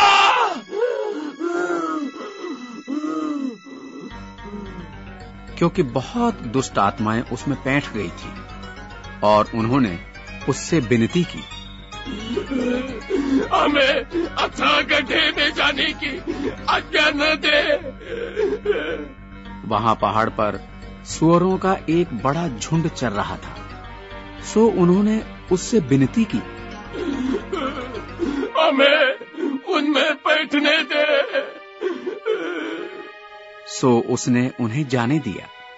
तब दुष्ट आत्माएँ उस मनुष्य से निकलकर सुअरों में गई और वो झुंड कड़ाड़े पर से झपट कर झील में जा गिरा और डूब मरा। चरवाहे, ये जो हुआ, देखकर भागे और नगर में और गाँवों में जाकर उसका समाचार दिया और लोग, ये जो हुआ था, उसे देखने को निकले और यीशु के पास आकर जिस मनुष्य से दुष्ट आत्माएँ निकली थी, उसे यीशु के पांवों के पास कपड़े पहने और सचेत बैठे हुए पाकर डर गए। और देखने वालों ने उनको बताया कि वो दुष्ट आत्मा का सताया हुआ मनुष्य किस प्रकार अच्छा हुआ। तब गिरासेनियों के आसपास के सब लोगों ने यीशु से विनती की हमारे यहाँ से चला जा। क्योंकि उन पर बड़ा भय छा गया था। सो वो नाव पर चढ़कर लौट गया। जिस मनुष्य से दुष्ट आत्माएँ निकली थी वो उनसे विनती करने लगा। मुझे अपने साथ रहने दे। परंतु यीशु ने उसे विदा करके कहा अपने घर को लौट जा और लोगों से कह दे कि परमेश्वर ने तेरे लिए कैसे बड़े बड़े काम किए हैं। वो जाकर सारे नगर में प्रचार करने लगा कि यीशु ने उसके लिए कैसे बड़े बड़े काम किए। जब यीशु लौट रहा था तो लोग उससे आनंद के साथ मिले क्योंकि वे सब उसकी बाट जो रहे थे। और देखो याइर नाम एक मनुष्य जो आराधनालय का सरदार था आया और यीशु के पाँव पर गिरकर उससे विनती करने लगा मेरे घर चल। क्योंकि उसके बारह वर्ष की इकलौती बेटी थी और वो मरने पर थी। जब वो जा रहा था तब लोग उस पर गिरे पड़ते थे और एक स्त्री ने जिसको बारह वर्ष से लोहू बहने का रोग था और जो अपनी सारी जीविका वैद्यों के पीछे व्यय कर चुकी थी पर किसी के हाथ से चंगी ना हो सकी थी। पीछे से आकर उसके वस्त्र के आंचल को छू लिया और तुरंत उसका लोहू बहना थम गया। इस पर यीशु ने कहा मुझे किसने छुआ? जब सब मुकरने लगे तो पतरस और उसके साथियों ने कहा हे hey, स्वामी तुझे तो भीड़ दबा रही है और तुझ पर गिरी पड़ती है। परंतु यीशु ने कहा किसी ने मुझे छुआ है क्योंकि मैंने जान लिया है। कि मुझमें से सामर्थ निकली है। जब स्त्री ने देखा कि वो छिप नहीं सकती तब कांपती हुई आई और उसके पांवों पर गिरकर सब लोगों के सामने बताया कि उसने किस कारण से उसे छुआ और कैसे तुरंत चंगी हो गई। उसने उससे कहा बेटी तेरे विश्वास ने तुझे चंगा किया है। कुशल से चली जा। वो ये कह ही रहा था कि किसी ने आराधनालय के सरदार के यहाँ से आकर कहा तेरी बेटी मर गई। गुरु को दुख ना दे। यीशु ने सुनकर उसे उत्तर दिया मत डर केवल विश्वास रख तो वो बच जाएगी। घर में आकर उसने पतरस और यूहन्ना और याकूब और लड़की के माता पिता को छोड़ और किसी को अपने साथ भीतर आने ना दिया और सब उसके लिए रो पीट रहे थे। परंतु उसने कहा रो मत वो मरी नहीं परंतु सो रही है। वे ये जानकर कि मर गई है उसकी हँसी करने लगे। परंतु उसने उसका हाथ पकड़ा और पुकार कर कहा हे लड़की उठ। तब उसके प्राण फिर आए और वो तुरंत उठ खड़ी हुई।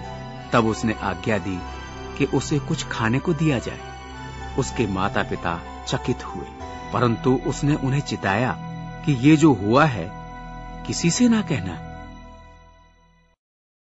अध्याय नौ। फिर उसने बारहों को बुलाकर उन्हें सब दुष्ट आत्माओं और बीमारियों को दूर करने की सामर्थ और अधिकार दिया और उन्हें परमेश्वर के राज्य का प्रचार करने और बीमारों को अच्छा करने के लिए भेजा।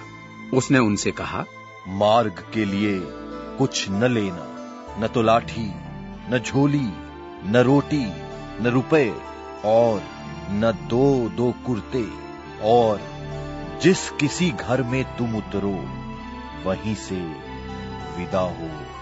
जो कोई तुम्हें ग्रहण न करे, उस नगर से निकलते हुए अपने पावों की धूल झाड़ डालो, कि उन पर गवाही हो। सो वे निकलकर गाँव गाँव सुसमाचार सुनाते, और हर कहीं लोगों को चंगा करते हुए फिरते रहे। देश की चौथाई का राजा हेरोदेस ये सब सुनकर घबरा गया। क्योंकि कितनों ने कहा कि यूहन्ना मरे हुओं में से जी उठा है। और कितनों ने ये कि एलिया दिखाई दिया है। और उन्हें कहा कि पुराने भविष्य वक्ताओं में से कोई जी उठा है। परंतु हेरोदेस ने कहा यहुन्ना का तो मैंने सिर कटवाया। अब ये कौन है जिसके विषय में ऐसी बातें सुनता हूँ? और उसने उसे देखने की इच्छा की। फिर प्रेरितों ने लौटकर जो कुछ उन्होंने किया था, उसको बता दिया, और वो उन्हें अलग करके बैत सैदा नाम एक नगर को ले गया। ये जानकर भीड़ उसके पीछे हो ली। वो आनंद के साथ उनसे मिला, और उनसे परमेश्वर के राज्य की बातें करने लगा, और जो चंगे होना चाहते थे, उन्हें उसने चंगा किया। जब दिन ढलने लगा तो बारहों ने आकर उससे कहा, भीड़ को विदा कर कि चारों ओर के गाँवों और बस्तियों में जाकर टिके और भोजन का उपाय करें क्योंकि हम यहाँ सुनसान जगह में हैं। उसने उनसे कहा तुम ही उन्हें खाने को दो। उन्होंने कहा हमारे पास पाँच रोटियाँ और दो मछली को छोड़कर और कुछ नहीं परंतु हाँ यदि हम जाकर इन सब लोगों के लिए भोजन मोल लें तो हो सकता है। वे लोग तो पाँच हज़ार पुरुषों के लगभग थे। तब उसने अपने चेलों से कहा उन्हें पचास पचास करके पांति पांति बैठा दो। उन्होंने ऐसा ही किया और सबको बैठा दिया। तब उसने वे पाँच रोटियाँ और दो मछली ली और स्वर्ग की ओर देखकर धन्यवाद किया और तोड़ तोड़ कर चेलों को देता गया कि लोगों को परोसे। सो सब खाकर तृप्त हुए और बचे हुए टुकड़ों से बारह टोकरी भरकर उठाई। जब वो एकांत में प्रार्थना कर रहा था और चेले उसके साथ थे तो उसने उनसे पूछा लोग मुझे क्या कहते हैं? उन्होंने उत्तर दिया यूहन्ना बपतिस्मा देने वाला और कोई कोई एलिया और कोई ये कि पुराने भविष्य दुक्ताओं में से कोई जी उठा है? उसने उनसे पूछा परंतु तुम मुझे क्या कहते हो? पत्रस ने उत्तर दिया परमेश्वर का मसीह तब उसने उन्हें चिताकर कहा ये किसी से न कहना। और उसने कहा मनुष्य के पुत्र के लिए अवश्य है कि वो बहुत दुख उठाए और पुरनिये और महायाजक और शास्त्री उसे तुच्छ समझकर मार डाले और वो तीसरे दिन जी उठे। उसने सबसे कहा कि यदि कोई मेरे पीछे आना चाहे तो अपने आप का इनकार करे और प्रतिदिन अपना क्रूस उठाए हुए मेरे पीछे हो ले। क्योंकि जो कोई अपना प्राण बचाना चाहेगा, वो उसे खोएगा। परंतु जो कोई मेरे लिए अपना प्राण खोएगा, वही उसे बचाएगा। यदि मनुष्य सारे जगत को प्राप्त करे और अपना प्राण खो दे या उसकी हानि उठाए तो उसे क्या लाभ होगा? जो कोई मुझसे और मेरी बातों से लज्जाएगा मनुष्य का पुत्र भी जब अपनी और अपने पिता की और पवित्र स्वर्ग दूतों की महिमा सहित आएगा तो उससे लज्जाएगा। मैं तुमसे सच कहता हूँ, जो यहाँ खड़े हैं, उनमें से कोई कोई ऐसे हैं कि जब तक परमेश्वर का राज्य न देख लें, तब तक मृत्यु का स्वाद न चखेंगे। इन बातों के कोई आठ दिन बाद वो पतरस, यूहन्ना और याकूब को साथ लेकर प्रार्थना करने के लिए पहाड़ पर गया। जब वो प्रार्थना कर ही रहा था तो उसके चेहरे का रूप बदल गया और उसका वस्त्र श्वेत होकर चमकने लगा। और देखो, मूसा और एलिया, ये दो पुरुष उसके साथ बातें कर रहे थे।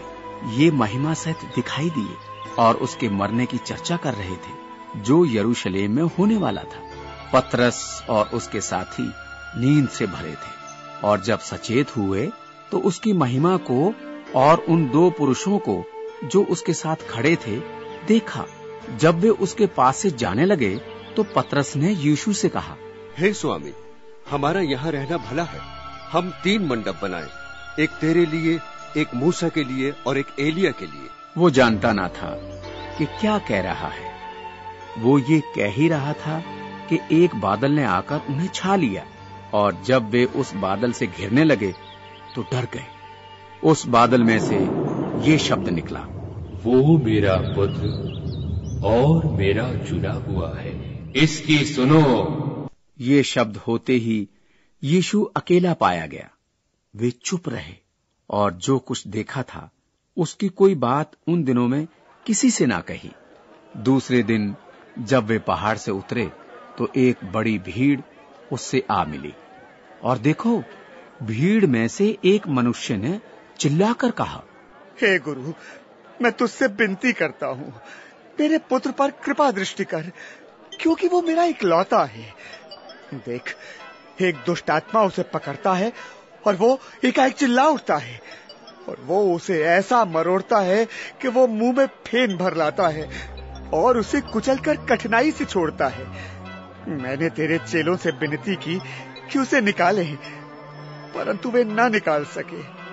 यीशु ने उत्तर दिया हे अविश्वासी और हटीले लोगों मैं कब तक तुम्हारे साथ रहूँगा और तुम्हारी सहूँगा अपने पुत्र को यहाँ ले आ वो आ ही रहा था कि दुष्ट आत्मा ने उसे पटक कर मरोड़ा परंतु यीशु ने अशुद्ध आत्मा को डांटा और लड़के को अच्छा करके उसके पिता को सौंप दिया। तब सब लोग परमेश्वर की महासामर्थ से चकित हुए।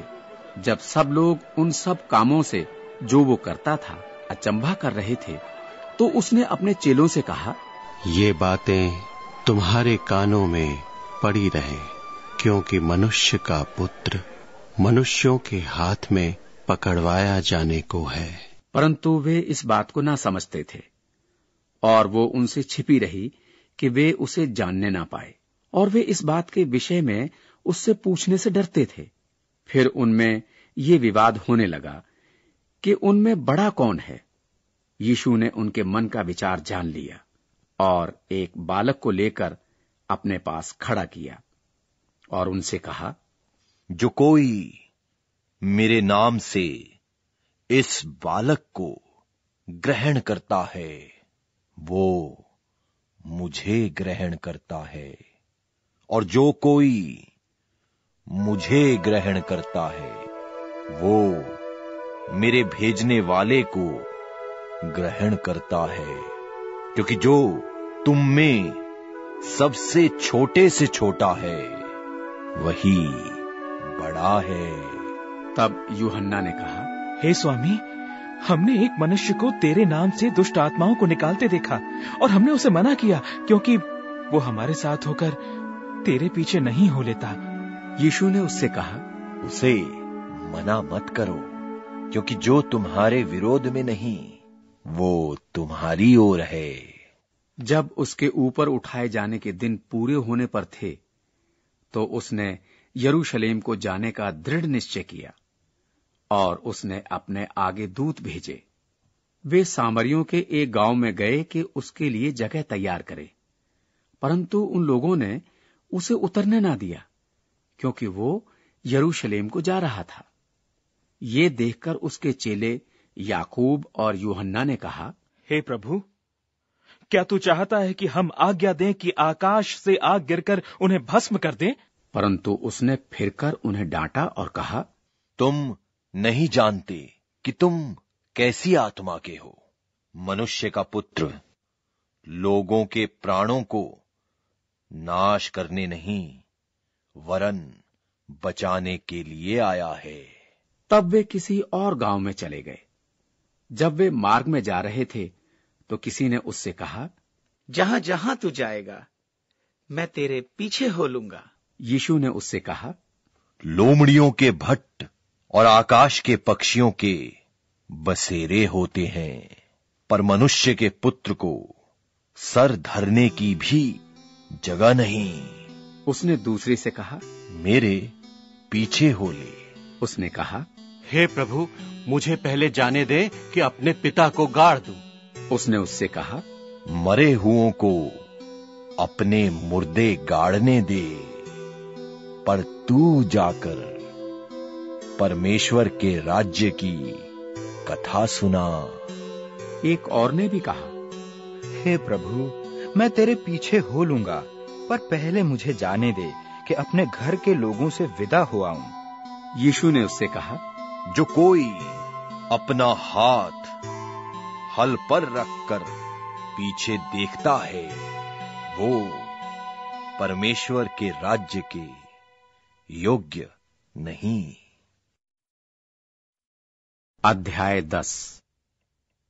इन बातों के बाद प्रभु ने सत्तर और मनुष्य नियुक्त किए और जिस जिस नगर और जगह को वो स्वयं जाने पर था, वहाँ उन्हें दो दो करके अपने आगे भेजा।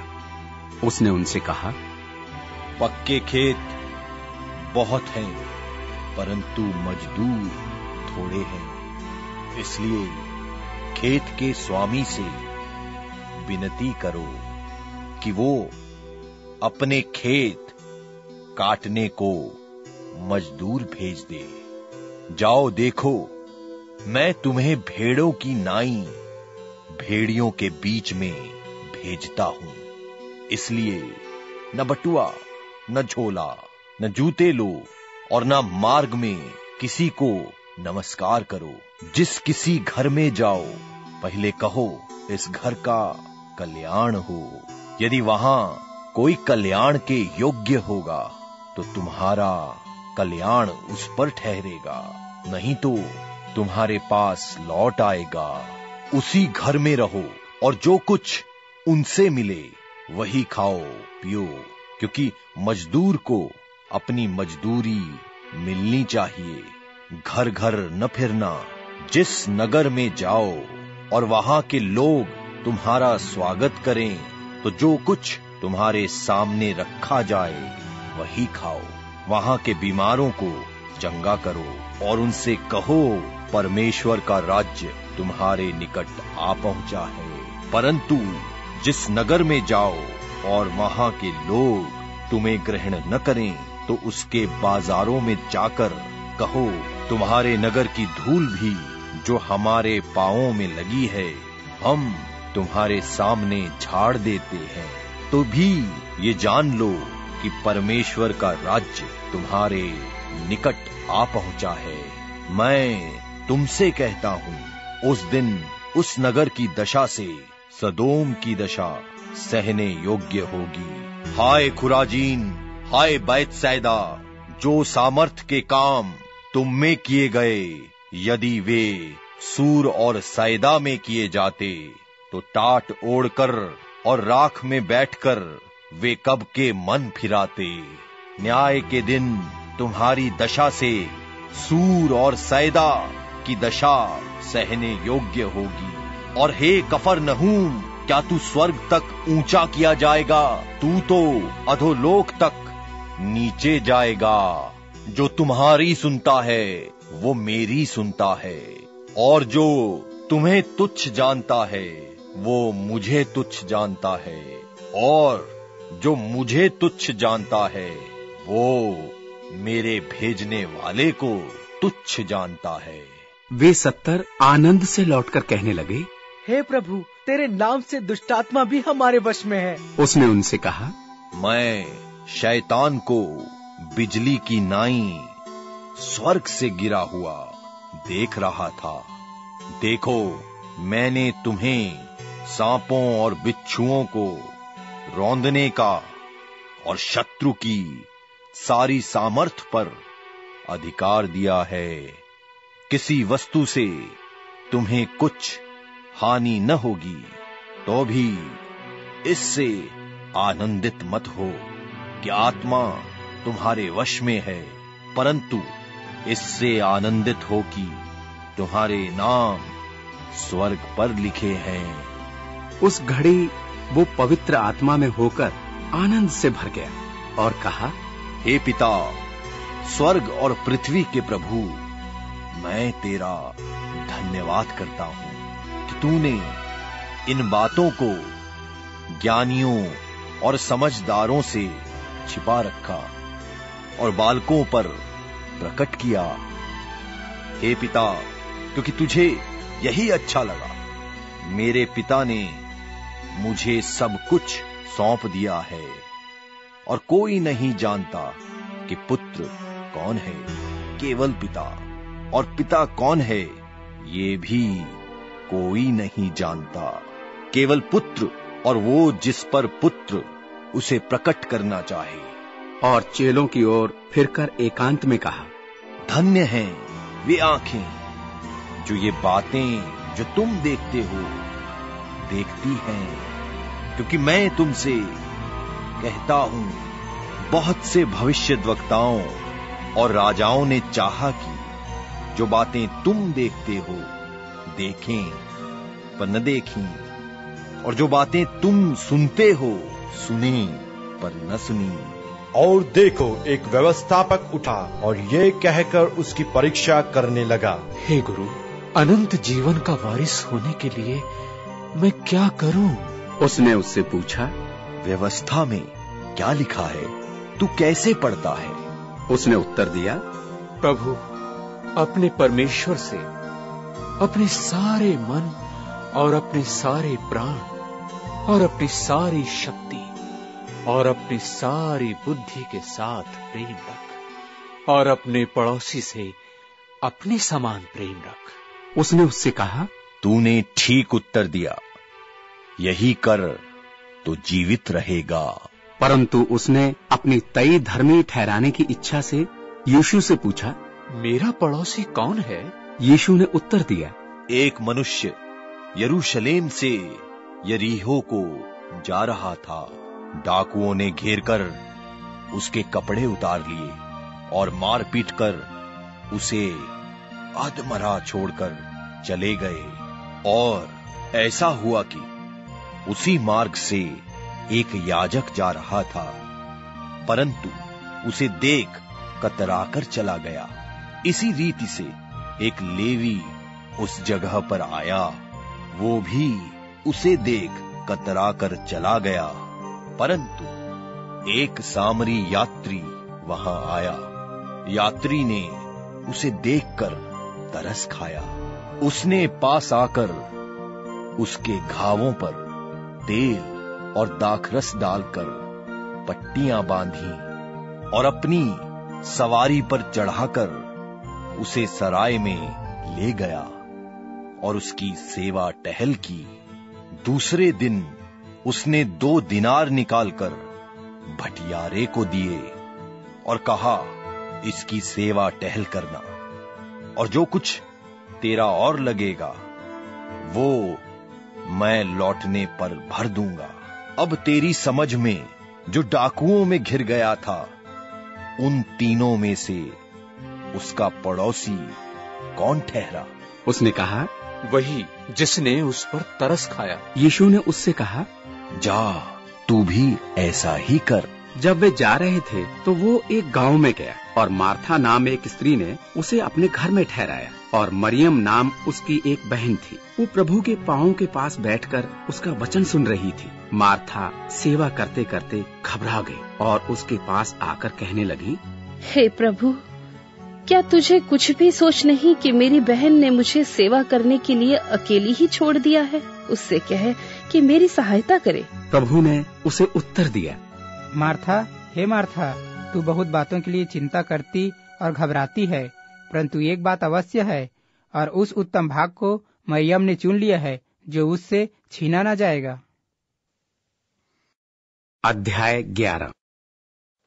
फिर वो किसी जगह प्रार्थना कर रहा था और जब वो प्रार्थना कर चुका तो उसके चेलों में से एक ने उससे कहा हे hey प्रभु जैसे योहन्ना ने अपने चेलों को प्रार्थना करना सिखलाया वैसे ही हमें भी सिखा दे उसने उनसे कहा जब तुम प्रार्थना करो तो कहो हे पिता तेरा नाम पवित्र माना जाए तेरा राज्य आए। हमारी दिन भर की रोटी हर दिन हमें दिया कर हमारे पापों को क्षमा कर क्योंकि हम भी अपने हर एक अपराधी को क्षमा करते हैं और हमें परीक्षा में न ला और उसने उनसे कहा तुम में से कौन है कि उसका एक मित्र हो, और वो आधी रात को उसके पास जाकर उससे कहे, हे मित्र, मुझे तीन रोटियाँ दे, क्योंकि एक यात्री मित्र मेरे पास आया है, और उसके आगे रखने के लिए मेरे पास कुछ नहीं है, और वो भीतर से उत्तर दे, मुझे दुख न दे, अब तो द्वार बंद है, और मेरे बालक मेरे पास बिछौने पर हैं इसलिए मैं उठकर तुझे दे नहीं सकता। मैं तुमसे कहता हूँ, यदि उसका मित्र होने पर भी उसे उठकर न दे तो भी उसके लज्जा छोड़कर मांगने के कारण उसे जितनी आवश्यकता हो उतनी उठकर देगा। और मैं तुमसे कहता हूँ, मांगो तो तुम्हें दिया जाएगा, ढूंढो तो तुम पाओगे। खटखटाओ तो तुम्हारे लिए खोला जाएगा। क्योंकि जो कोई माँगता है, उसे मिलता है, और जो ढूंढता है, वो पाता है। जो खटखटाता है, उसके लिए खोला जाएगा। तुम में से ऐसा कौन पिता होगा, कि जब उसका पुत्र रोटी मांगे तो उसे पत्थर दे, या मछली मांगे तो मछली के बदले उसे सांप दे, या अंडा मांगे तो उसे बिच्छू दे सो जब तुम बुरे होकर अपने लड़के वालों को अच्छी वस्तुएँ देना चाहते हो तो स्वर्गीय पिता अपने मांगने वालों को पवित्र आत्मा क्यों न देगा? फिर उसने एक गूँगी दुष्ट आत्मा को निकाला। जब दुष्ट आत्मा निकल गई तो गूँगा बोलने लगा और लोगों ने अचंभा किया परंतु उनमें से कितनों ने कहा यह तो शैतान नाम दुष्टात्माओं के प्रधान की सहायता से दुष्टात्माओं को निकालता है। और उन्हें उसकी परीक्षा करने के लिए उससे आकाश का एक चिन्ह मांगा। परंतु उसने उनके मन की बातें जानकर उनसे कहा, जिस राज्य में फूट होती है, वो राज्य उजड़ जाता है, और जिस घर में फूट होती है, वो नाश हो जाता है। यदि शैतान अपना ही विरोधी हो जाए तो उसका राज्य क्यों कर बना रहेगा? तुम मेरे विषय में तो कहते हो कि ये शैतान की सहायता से दुष्ट आत्मा निकालता है। यदि मैं शैतान की सहायता से दुष्ट आत्माओं को निकालता हूँ तो तुम्हारी संतान किसकी सहायता से निकालती है? इसलिए वे ही तुम्हारा न्याय चुकाएँगे। परंतु यदि मैं परमेश्वर की सामर्थ्य से दुष्ट आत्माओं को निकालता हूँ तो परमेश्वर का राज्य तुम्हारे पास आ पहुँचा। जब बलवंत मनुष्य हथियार बांधे हुए अपने घर की रखवाली करता है तो उसकी संपत्ति बची रहती है। पर जब उससे बढ़कर कोई और बलवंत चढ़ाई करके उसे जीत लेता है तो उसके वे हथियार जिन पर उसका भरोसा था, छीन लेता है और उसकी संपत्ति लूटकर बांट देता है। जो मेरे साथ नहीं, वो मेरे विरोध में है। और जो मेरे साथ नहीं बटोरता, वो बिथराता है। जब अशुद्ध आत्मा मनुष्य में से निकल जाती है तो सूखी जगहों में विश्राम ढूंढती फिरती है। और जब नहीं पाती तो कहती है, मैं अपने उसी घर में जहाँ से निकली थी लौट जाऊँगी और आकर उसे झाड़ा बुहारा और सजा सजाया पाती है। तब वो जाकर अपने से और बुरी सात आत्माओं को अपने साथ ले आती है और वे उसमें बैठकर वास करती हैं और उस मनुष्य की पिछली दशा पहले से भी बुरी हो जाती है। जब वो ये बातें कर ही रहा था तो भीड़ में से किसी स्त्री ने ऊँचे शब्द से कहा धन्य है वो गर्भ जिसमें तू रहा और वे स्तन जो तूने चूसे। उसने कहा हाँ परंतु धन्य वे हैं जो परमेश्वर का वचन सुनते और मानते हैं। जब भीड़ इकट्ठी होती जाती थी तो वो कहने लगा इस युग के लोग बुरे हैं वे चिन्ह ढूंढते हैं पर यूनुस के चिन्ह को छोड़ कोई और चिन्ह उन्हें न दिया जाएगा। जैसा यूनुस निन्वे के लोगों के लिए चिन्ह ठहरा, वैसा ही मनुष्य का पुत्र भी इस युग के लोगों के लिए ठहरेगा। दक्षिण की रानी न्याय के दिन इस समय के मनुष्यों के साथ उठकर उन्हें दोषी ठहराएगी, क्योंकि वो सुलेमान का ज्ञान सुनने को पृथ्वी की छोर से आई। और देखो यहाँ वो है जो सुलेमान से भी बड़ा है। नीनवे के लोग न्याय के दिन, इस समय के लोगों के साथ खड़े होकर उन्हें दोषी ठहराएँगे, क्योंकि उन्होंने यूनुस का प्रचार सुनकर मन फिराया। और देखो, यहाँ वो है जो यूनुस से भी बड़ा है। कोई मनुष्य दिया बार के तलघरे में या पैमाने के नीचे नहीं रखता, परंतु दीवट पर रखता है कि भीतर आने वाले उजियाला पाए। तेरे शरीर का दिया तेरी आँख है, इसलिए जब तेरी आँख निर्मल है तो तेरा सारा शरीर भी उजियाला है। परंतु जब वो बुरी है तो तेरा शरीर भी अंधेरा है, इसलिए चौकस रहना जो उजियाला तुझ में है वो अंधेरा न हो जाए। इसलिए यदि तेरा सारा शरीर उजियाला हो और उसका कोई भाग अंधेरा न रहे तो सबका सब ऐसा उजियाला होगा जैसा उस समय होता है जब दिया अपनी चमक से तुझे उजाला देता है। जब ये बातें कर रहा था तो किसी फरीसी ने उससे विनती की। मेरे यहाँ भोजन कर। और वो भीतर जाकर भोजन करने बैठा। फरीसी ने ये देखकर अचंभा किया कि उसने भोजन करने से पहले स्नान नहीं किया। प्रभु ने उससे कहा, हे फरीसियो, तुम कटोरे और थाली को ऊपर ऊपर तो मांझते हो, परंतु तुम्हारे भीतर अंधेरा और दुष्टता भरी है। हे निर्बुद्धियो, जिसने बाहर का भाग बनाया, क्या उसने भीतर का भाग नहीं बनाया? परंतु हाँ भीतर वाली वस्तुओं को दान कर दो तो देखो, सब कुछ तुम्हारे लिए शुद्ध हो जाएगा। हे फरीसियो, तुम पर हाय, तुम पौदीने और सुदाब का, और सब भांति के साग पात का दसवां अंश देते हो, परंतु न्याय को और परमेश्वर के प्रेम को टाल देते हो। चाहिए तो था कि इन्हें भी करते रहते और उन्हें भी न छोड़ते। हे फरीसियो तुम पर हाय। तुम आराधनालयों में मुख्य आसन और बाजारों में नमस्कार चाहते हो। हाय तुम पर क्योंकि तुम उन छिपी कब्रों के समान हो जिन पर लोग चलते हैं परंतु नहीं जानते। तब एक व्यवस्थापक ने उसको उत्तर दिया। हे गुरु इन बातों को कहने से तो हमारी निंदा करता है। उसने कहा हे व्यवस्थापको तुम पर हाय। तुम ऐसे बोझ जिनको उठाना कठिन है, मनुष्य पर लादते हो। परंतु तुम, आप उन बोझों को अपनी एक उंगली से भी नहीं छूते। हाय तुम पर, तुम उन भविष्य द्वक्ताओं की कब्रें बनाते हो, जिन्हें तुम्हारे ही बाप दादों ने मार डाला था। सो तुम गवाह हो और अपने बाप दादों के कामों में सम्मत हो, क्योंकि उन्होंने तो उन्हें मार डाला और तुम उनकी कब्रें बनाते हो।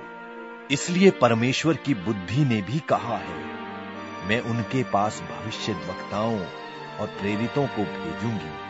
वे उनमें से कितनों को मार डालेंगे और कितनों को सताएँगे, ताकि जितने भविष्य वक्ताओं का लोहू जगत की उत्पत्ति से बहाया गया है, सबका लेखा इस युग के लोगों से लिया जाए। हाबील की हत्या से लेकर जकरयाह की हत्या तक, जो वेदी और मंदिर के बीच में घात किया गया, मैं तुमसे सच कहता हूँ। उसका लेखा इसी समय के लोगों से लिया जाएगा। हाय तुम व्यवस्थापकों पर, तुमने ज्ञान की कुंजी ले तो ली, परंतु तुमने आप ही प्रवेश नहीं किया। और प्रवेश करने वालों को भी रोक दिया। जब वो वहाँ से निकला तो शास्त्री और फरीसी बहुत पीछे पड़ गए और छेड़ने लगे कि वो बहुत सी बातों की चर्चा करे और उसकी घात में लगे रहे कि उसके मुँह की कोई बात पकड़े। अध्याय बारह। इतने में जब हज़ारों की भीड़ लग गई यहाँ तक कि एक दूसरे पर गिरे पड़ते थे तो वो सबसे पहले अपने चेलों से कहने लगा फरीसियों के कपट रूपी खमीर से चौकस रहना कुछ ढपा नहीं जो खोला न जाएगा और न कुछ छिपा है जो जाना न जाएगा। इसलिए जो कुछ तुमने अंधेरे में कहा है, वो उजाले में सुना जाएगा। और जो तुमने कोठरियों में कानो कान कहा है, वो कोठों पर प्रचार किया जाएगा।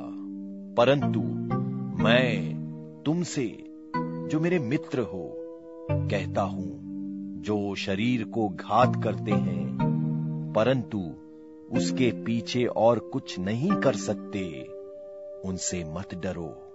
मैं तुम्हें चिताता हूँ कि तुम्हें किससे डरना चाहिए? घात करने के बाद जिसको नरक में डालने का अधिकार है, उसी से डरो। वरन मैं तुमसे कहता हूँ उसी से डरो। क्या दो पैसे की पाँच गौरैया नहीं बिकती? तो भी परमेश्वर उनमें से एक को भी नहीं भूलता। तुम्हारे सिर के सब बाल भी गिने हुए हैं। सो डरो नहीं। तुम बहुत गौरैयों से बढ़कर हो। मैं तुमसे कहता हूँ, जो कोई मनुष्यों के सामने मुझे मान लेगा, उसे मनुष्य का पुत्र भी परमेश्वर के स्वर्ग दूतों के सामने मान लेगा। परंतु जो मनुष्यों के सामने मुझे इनकार करे, उसका परमेश्वर के स्वर्ग दूतों के सामने इनकार किया जाएगा। जो कोई मनुष्य के पुत्र के विरोध में कोई बात कहे, उसका वो अपराध क्षमा किया जाएगा। परंतु जो पवित्र आत्मा की निंदा करे उसका अपराध क्षमा न किया जाएगा।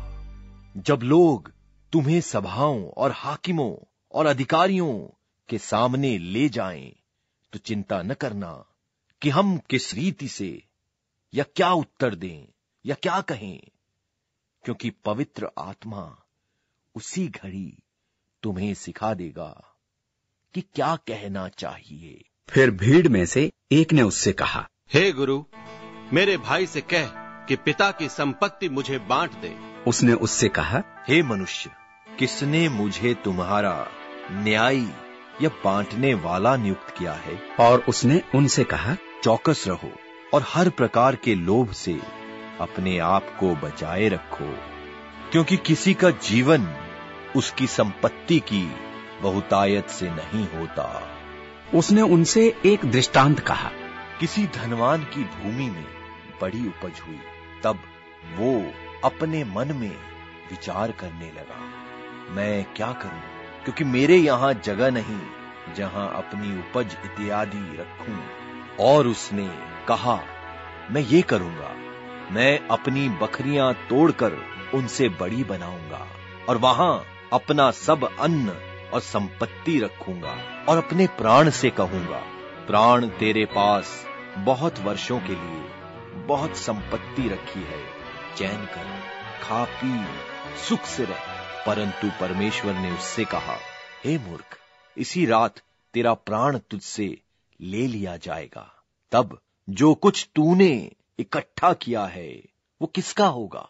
ऐसा ही वो मनुष्य भी है, जो अपने लिए धन बटोरता है परंतु परमेश्वर की दृष्टि में धनी नहीं। फिर उसने अपने चेलों से कहा इसलिए मैं तुमसे कहता हूँ अपने प्राण की चिंता न करो कि हम क्या खाएँगे ना अपने शरीर की कि क्या पहनेंगे क्योंकि भोजन से प्राण और वस्त्र से शरीर बढ़कर है। कौवों पर ध्यान दो वे न बोते हैं न काटते। न उनके भंडार और न खत्ता होता है तो भी परमेश्वर उन्हें पालता है। तुम्हारा मूल्य पक्षियों से कहीं अधिक है। तुम में से ऐसा कौन है जो चिंता करने से अपनी अवस्था में एक घड़ी भी बढ़ा सकता है? इसलिए यदि तुम सबसे छोटा काम भी नहीं कर सकते तो और बातों के लिए क्यों चिंता करते हो? सोसन के पेड़ों पर ध्यान करो कि वे कैसे बढ़ते हैं। वे न परिश्रम करते, न काटते हैं। तो भी मैं तुमसे कहता हूँ कि सुलेमान भी अपने सारे विभव में उनमें से किसी एक के समान वस्त्र पहने हुए न था। इसलिए यदि परमेश्वर मैदान की घास को, जो आज है और कल भाड़ में झोंकी जाएगी। ऐसा पहनाता है। तो हे अल्प विश्वासियों वो तुम्हें क्यों न पहनाएगा? और तुम इस बात की खोज में न रहो कि क्या खाएँगे और क्या पिएँगे, और न संदेह करो, क्योंकि संसार की जातियाँ इन सब वस्तुओं की खोज में रहती हैं, और तुम्हारा पिता जानता है कि तुम्हें इन वस्तुओं की आवश्यकता है, परंतु उसके राज्य की खोज में रहो तो ये वस्तुएँ भी तुम्हें मिल जाएँगी। हे छोटे झुंड, मत डर, क्योंकि तुम्हारे पिता को ये भाया है कि तुम्हें राज्य दे, अपनी संपत्ति बेचकर दान कर दो, और अपने लिए ऐसे बटुए बनाओ जो पुराने नहीं होते, अर्थात स्वर्ग पर ऐसा धन इकट्ठा करो जो घटता नहीं, जिसके निकट चोर नहीं जाता और कीड़ा नहीं बिगाड़ता। क्योंकि जहाँ तुम्हारा धन है, वहाँ तुम्हारा मन भी लगा रहेगा।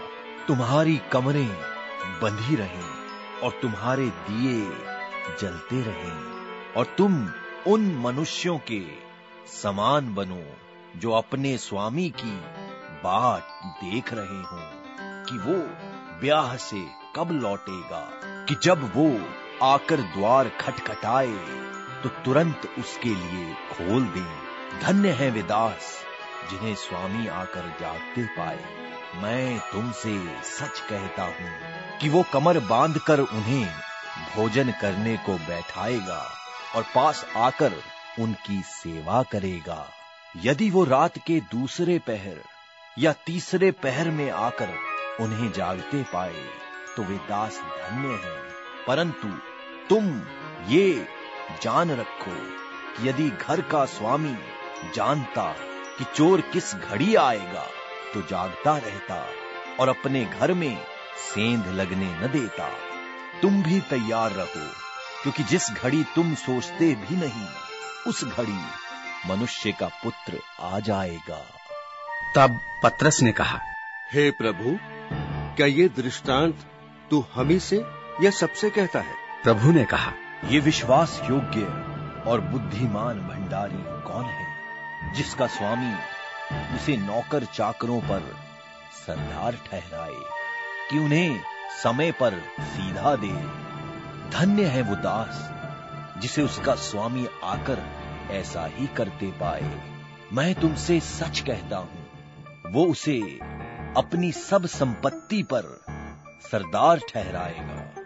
परंतु यदि वो दास सोचने लगे कि मेरा स्वामी आने में देर कर रहा है और दासों और दासियों को मारने पीटने लगे और खाने पीने और पियक्कड़ होने लगे तो उस दास का स्वामी ऐसे दिन जिसकी वो उसकी बाट जोता न हो और ऐसी घड़ी जिसे वो जानता न हो आएगा, और उसे भारी ताड़ना देकर उसका भाग अविश्वासियों के साथ ठहराएगा।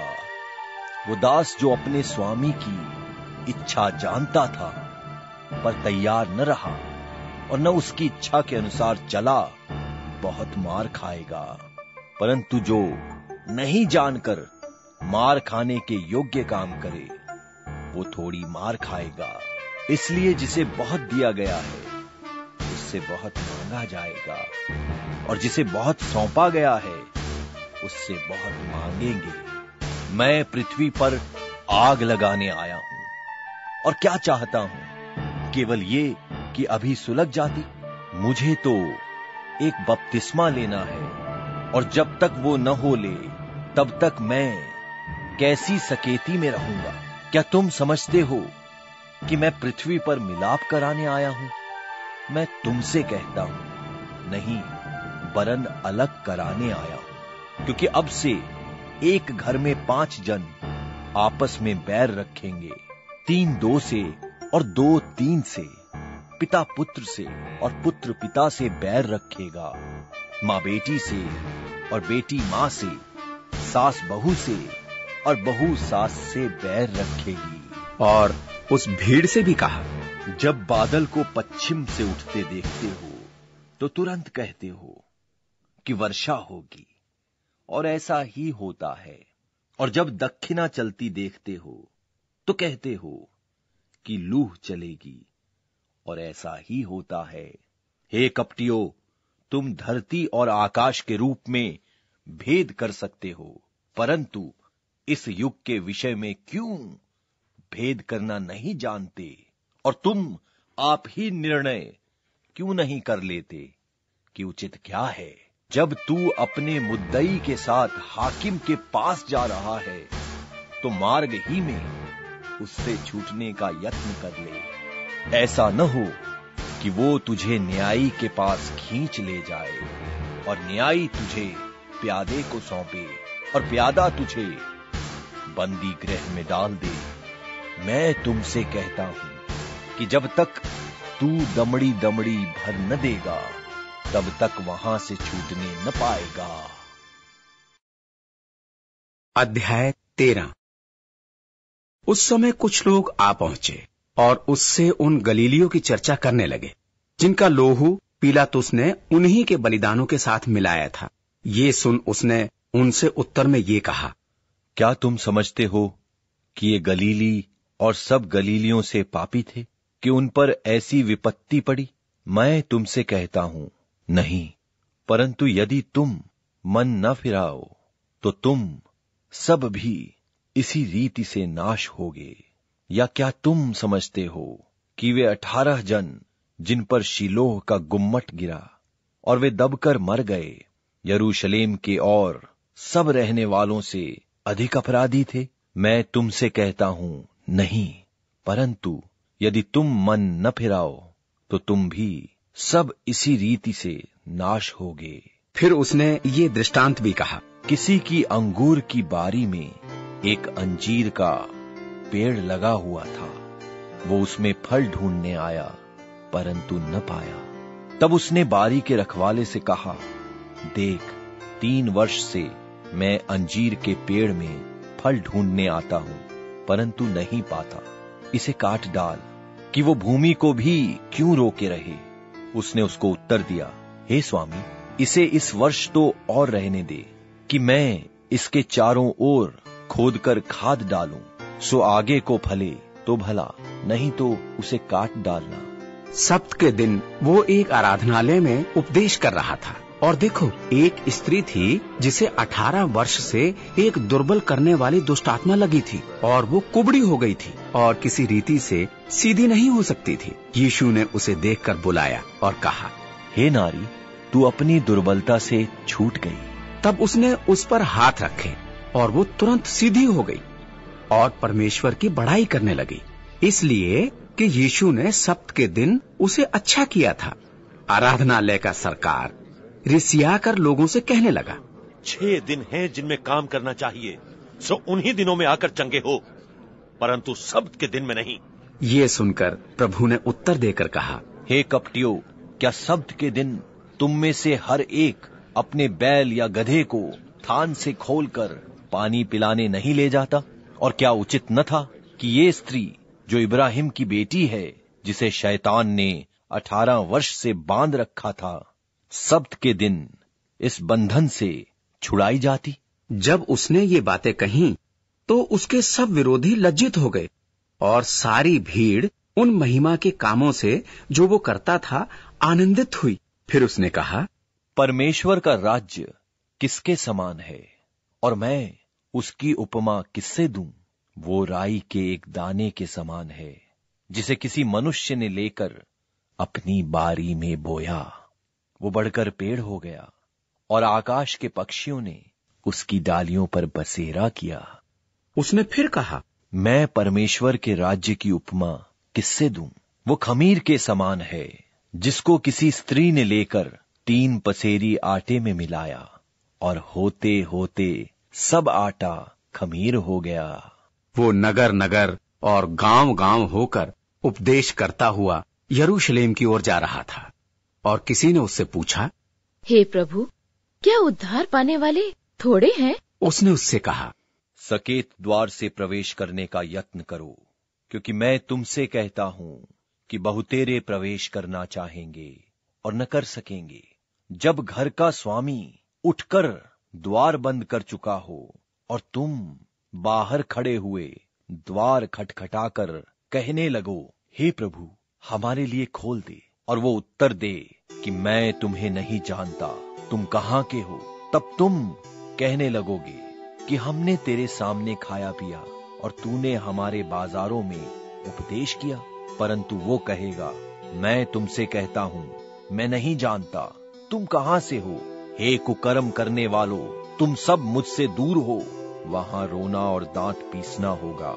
तुम इब्राहिम और इसहाक और याकूब और सब भविष्य वक्ताओं को परमेश्वर के राज्य में बैठे और अपने आप को बाहर निकाले हुए देखोगे। पूर्व और पश्चिम, उत्तर और दक्षिण से लोग आकर परमेश्वर के राज्य के भोज में भागी होंगे और देखो कितने पिछले हैं वे प्रथम होंगे और कितने जो प्रथम हैं वे पिछले होंगे। उसी घड़ी कितने फरीसियों ने आकर उससे कहा यहाँ से निकलकर चला जा, क्योंकि हेरोदेस तुझे मार डालना चाहता है। उसने उनसे कहा, जाकर उस लोमड़ी से कह दो कि देख, मैं आज और कल दुष्टात्माओं को निकालता और बीमारों को चंगा करता हूँ, और तीसरे दिन पूरा करूँगा। तो भी मुझे आज और कल और परसों चलना अवश्य है, क्योंकि हो नहीं सकता कि कोई भविष्य वक्ता यरूशलेम के बाहर मारा जाए। हे यरूशलेम हे यरूशलेम, तू जो भविष्य वक्ताओं को मार डालती है और जो तेरे पास भेजे गए, उन्हें पत्थर वाह करती है। कितनी ही बार मैंने ये चाहा कि जैसे मुर्गी अपने बच्चों को अपने पंखों के नीचे इकट्ठे करती है, वैसे ही मैं भी तेरे बालकों को इकट्ठे करूँ। पर तुमने ये न चाहा। देखो, तुम्हारा घर तुम्हारे लिए उजाड़ छोड़ा जाता है, और मैं तुमसे कहता हूँ, जब तक तुम न कहोगे कि धन्य है वो जो प्रभु के नाम से आता है, तब तक तुम मुझे फिर कभी न देखोगे। अध्याय चौदह। फिर वो सप्त के दिन फरीसियों के सरदारों में से किसी के घर में रोटी खाने गया। और वे उसकी घात में थे। और देखो एक मनुष्य उसके सामने था जिसे जलंधर का रोग था। इस पर यीशु ने व्यवस्थापकों और फरीसियों से कहा क्या शब्द के दिन अच्छा करना उचित है अथवा नहीं? परंतु वे चुपचाप रहे। तब उसने उसे हाथ लगाकर चंगा किया और जाने दिया और उनसे कहा कि तुम में से ऐसा कौन है जिसका गधा या बैल कुएँ में गिर जाए? और वो सप्त के दिन उसे तुरंत बाहर न निकाल ले। वे इन बातों का कुछ उत्तर ना दे सके। जब उसने देखा कि नेवताहारी लोग क्योंकर मुख्य मुख्य जगह चुन लेते हैं तो एक दृष्टांत देकर उनसे कहा जब कोई तुझे ब्याह में बुलाए तो मुख्य जगह में न बैठना।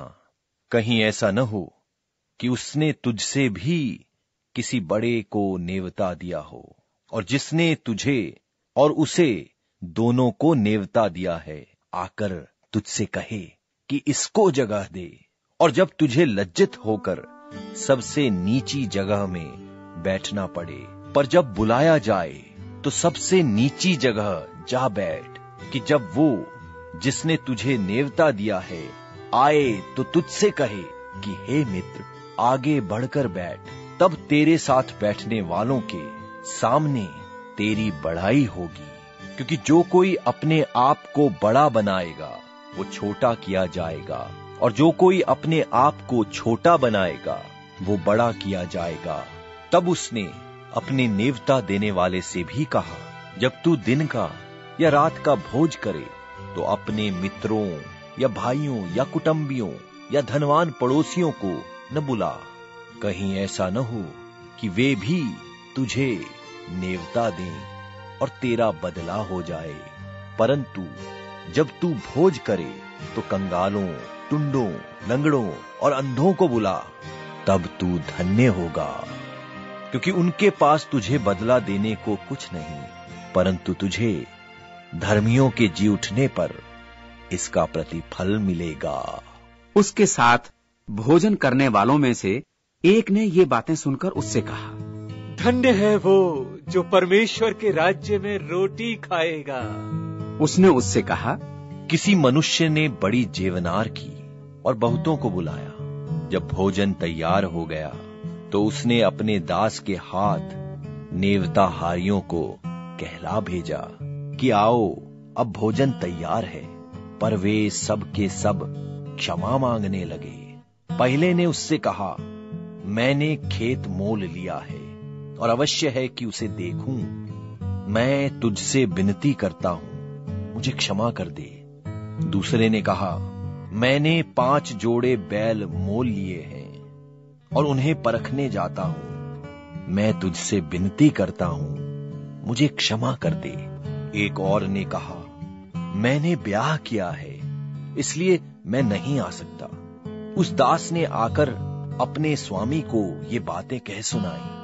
तब घर के स्वामी ने क्रोध में आकर अपने दास से कहा, नगर के बाजारों और गलियों में तुरंत जाकर कंगालों, टुंडों, लंगड़ों और अंधों को यहाँ ले आओ। दास ने फिर कहा, हे स्वामी, जैसे तूने कहा था, वैसे ही किया गया है और फिर भी जगह है। स्वामी ने दास से कहा, सड़कों पर और बाड़ों की ओर जाकर लोगों को बरबस ही ले आ। ताकि मेरा घर भर जाए। क्योंकि क्योंकि मैं तुमसे कहता हूँ कि उन नेवते हुओं में से कोई मेरी जेवनार को न चखेगा। और जब बड़ी भीड़ उसके साथ जा रही थी तो उसने पीछे फिरकर उनसे कहा यदि कोई मेरे पास आए और अपने पिता और माता और पत्नी और लड़के वालों और भाइयों और बहनों वरन अपने प्राण को भी अप्रिय न जाने तो वो मेरा चेला नहीं हो सकता। और जो कोई अपना क्रूस न उठाए और मेरे पीछे न आए, वो भी मेरा चेला नहीं हो सकता। तुम में से कौन है कि गढ़ बनाना चाहता हो? और पहले बैठकर खर्च न जोड़े कि पूरा करने की बिसात मेरे पास है या नहीं। कहीं ऐसा न हो कि जब नेव डालकर तैयार न कर सके तो सब देखने वाले ये कहकर उसे ठट्ठों में उड़ाने लगे कि ये मनुष्य बनाने तो लगा, पर तैयार न कर सका। यह कौन ऐसा राजा है जो दूसरे राजा से युद्ध करने जाता हो और पहले बैठकर विचार न कर ले कि बीस हज़ार लेकर मुझ पर चढ़ा आता है? क्या मैं दस हज़ार लेकर उसका सामना कर सकता हूँ? अथवा नहीं? नहीं तो उसके दूर रहते ही वो दूतों को भेजकर मिलाप करना चाहेगा। इसी रीति से तुम में से जो कोई अपना सब कुछ त्याग न दे तो वो मेरा चेला नहीं हो सकता। नमक तो अच्छा है, परंतु यदि नमक का स्वाद बिगड़ जाए तो वो किस वस्तु से स्वादिष्ट किया जाएगा? वो न तो भूमि के और न खाद के लिए काम में आता है। उसे तो लोग बाहर फेंक देते हैं जिसके सुनने के कान हो सुन ले। अध्याय पंद्रह। सब चुंगी लेने वाले और पापी उसके पास आया करते थे कि उसकी सुने और फरीसी और शास्त्री कुड़कुड़ाकर कहने लगे ये तो पापियों से मिलता है और उनके साथ खाता भी है। तब उसने उनसे ये दृष्टांत कहा तुम में से कौन है जिसकी सौ भेड़े हों और उनमें से एक खो जाए तो निन्यानवे को जंगल में छोड़कर उस खोई हुई को जब तक मिल न जाए, खोजता न रहे और जब मिल जाती है, तब वो बड़े आनंद से उसे कांधे पर उठा लेता है और घर में आकर मित्रों और पड़ोसियों को इकट्ठे करके कहता है, मेरे साथ आनंद करो, क्योंकि मेरी खोई हुई भेड़ मिल गई है। मैं तुमसे कहता हूँ, इसी रीति से एक मन फिराने वाले पापी के विषय में भी स्वर्ग में इतना आनंद होगा जितना निन्यानवे ऐसे धर्मियों के विषय नहीं होता, जिन्हें मन फिराने की आवश्यकता नहीं। यह कौन ऐसी स्त्री होगी जिनके पास दस सिक्के हों और उनमें से एक खो जाए? तो वो दिया बार कर और घर झाड़ बुहार कर जब तक मिल न जाए, जी लगाकर खोजती न रहे। और जब मिल जाता है तो वो अपनी सखियों और पड़ोसियों को इकट्ठी करके कहती है कि मेरे साथ आनंद करो, क्योंकि मेरा खोया हुआ सिक्का मिल गया है। मैं तुमसे कहता हूँ, इसी रीति से एक मन फिराने वाले पापी के विषय में परमेश्वर के स्वर्ग दूतों के सामने आनंद होता है। फिर उसने कहा, किसी मनुष्य के दो पुत्र थे। उनमें से छुटके ने पिता से कहा कि, हे पिता, संपत्ति में से जो भाग मेरा हो, वो मुझे दे दीजिए। उसने उनको अपनी संपत्ति बांट दी और बहुत दिन न बीते थे कि छुटका पुत्र सब कुछ इकट्ठा करके एक दूर देश को चला गया और वहाँ कुकर्म में अपनी संपत्ति उड़ा दी। जब वो सब कुछ खर्च कर चुका तो उस देश में बड़ा अकाल पड़ा और वो कंगाल हो गया। और वो उस देश के निवासियों में से एक के यहाँ जा पड़ा। उसने उसे अपने खेतों में सुअर चराने के लिए भेजा। और वो चाहता था कि उन फलियों से जिन्हें सुअर खाते थे अपना पेट भरे। और उसे कोई कुछ नहीं देता था। जब वो अपने आपे में आया, तब कहने लगा, मेरे पिता के कितने ही मजदूरों को भोजन से अधिक रोटी मिलती है। और मैं यहाँ भूखा मर रहा हूँ। मैं अब उठकर अपने पिता के पास जाऊँगा और उससे कहूँगा कि पिताजी, मैंने स्वर्ग के विरोध में और तेरी दृष्टि में पाप किया है। अब इस योग्य नहीं रहा कि तेरा पुत्र कहलाऊं। मुझे अपने एक मजदूर की नाई रख ले। तब वो उठकर अपने पिता के पास चला। वो अभी दूर ही था कि उसके पिता ने उसे देखकर तरस खाया। दौड़कर उसे गले लगाया। और बहुत चूमा। पुत्र ने उससे कहा, पिताजी, मैंने स्वर्ग के विरोध में और तेरी दृष्टि में पाप किया है और अब इस योग्य नहीं रहा कि तेरा पुत्र कहलाऊं। परंतु पिता ने अपने दासों से कहा, तुरंत अच्छे से अच्छा वस्त्र निकालकर उसे पहनाओ और उसके हाथ में अंगूठी और पाओ में जूतियाँ पहनाओ। पला हुआ बछड़ा लाकर मारो ताकि हम खाएँ और आनंद मनावें, क्योंकि मेरा ये पुत्र मर गया था, फिर जी गया है, खो गया था, अब मिल गया है और वे आनंद करने लगे। परंतु उसका जेठा पुत्र खेत में था और जब वो आते हुए घर के निकट पहुँचा तो उसने गाने, बजाने और नाचने का शब्द सुना और उसने एक दास को बुलाकर पूछा, ये क्या हो रहा है? उसने उससे कहा तेरा भाई आया है और तेरे पिता ने पला हुआ बछड़ा कटवाया है, इसलिए कि उसे भला चंगा पाया है। ये सुनकर वो क्रोध से भर गया और भीतर जाना न चाहा, परंतु उसका पिता बाहर आकर उसे मनाने लगा। उसने पिता को उत्तर दिया, देख, मैं इतने वर्ष से तेरी सेवा कर रहा हूँ और कभी भी तेरी आज्ञा नहीं टाली तो भी तूने मुझे कभी एक बकरी का बच्चा भी न दिया कि मैं अपने मित्रों के साथ आनंद करता। परंतु जब तेरा ये पुत्र, जिसने तेरी संपत्ति वेश्याओं में उड़ा दी है, आया तो उसके लिए तूने पला हुआ बछड़ा कटवाया। उसने उससे कहा, पुत्र, तू सर्वदा मेरे साथ है। जो कुछ मेरा है, वो सब तेरा ही है। अब आनंद करना और मग्न होना चाहिए क्योंकि ये तेरा भाई मर गया था फिर जी गया है खो गया था अब मिल गया है। अध्याय सोलह। फिर उसने चेलों से भी कहा किसी धनवान का एक भंडारी था और लोगों ने उसके सामने उस पर यह दोष लगाया कि ये तेरी सब संपत्ति उड़ाए देता है। उसने उसे बुलाकर कहा ये क्या है? जो मैं तेरे विषय में सुन रहा हूँ, अपने भंडारीपन का लेखा दे, क्योंकि तू आगे को भंडारी नहीं रह सकता। तब भंडारी सोचने लगा, अब मैं क्या करूँ? क्योंकि मेरा स्वामी अब भंडारी का काम मुझसे छीन ले रहा है। मिट्टी तो मुझसे खोदी नहीं जाती, और भीख मांगने से मुझे लज्जा आती है। मैं समझ गया कि क्या करूँगा, कि जब मैं भंडारी के काम से छुड़ाया जाऊँ तो लोग मुझे अपने घरों में ले लें। उसने अपने स्वामी के देनदारों में से एक एक को बुलाकर पहले से पूछा तुझ पर मेरे स्वामी का क्या आता है? उसने कहा सौ मन तेल। तब उसने उनसे कहा कि अपनी खाता बही लेकर अस्सी लिख दे।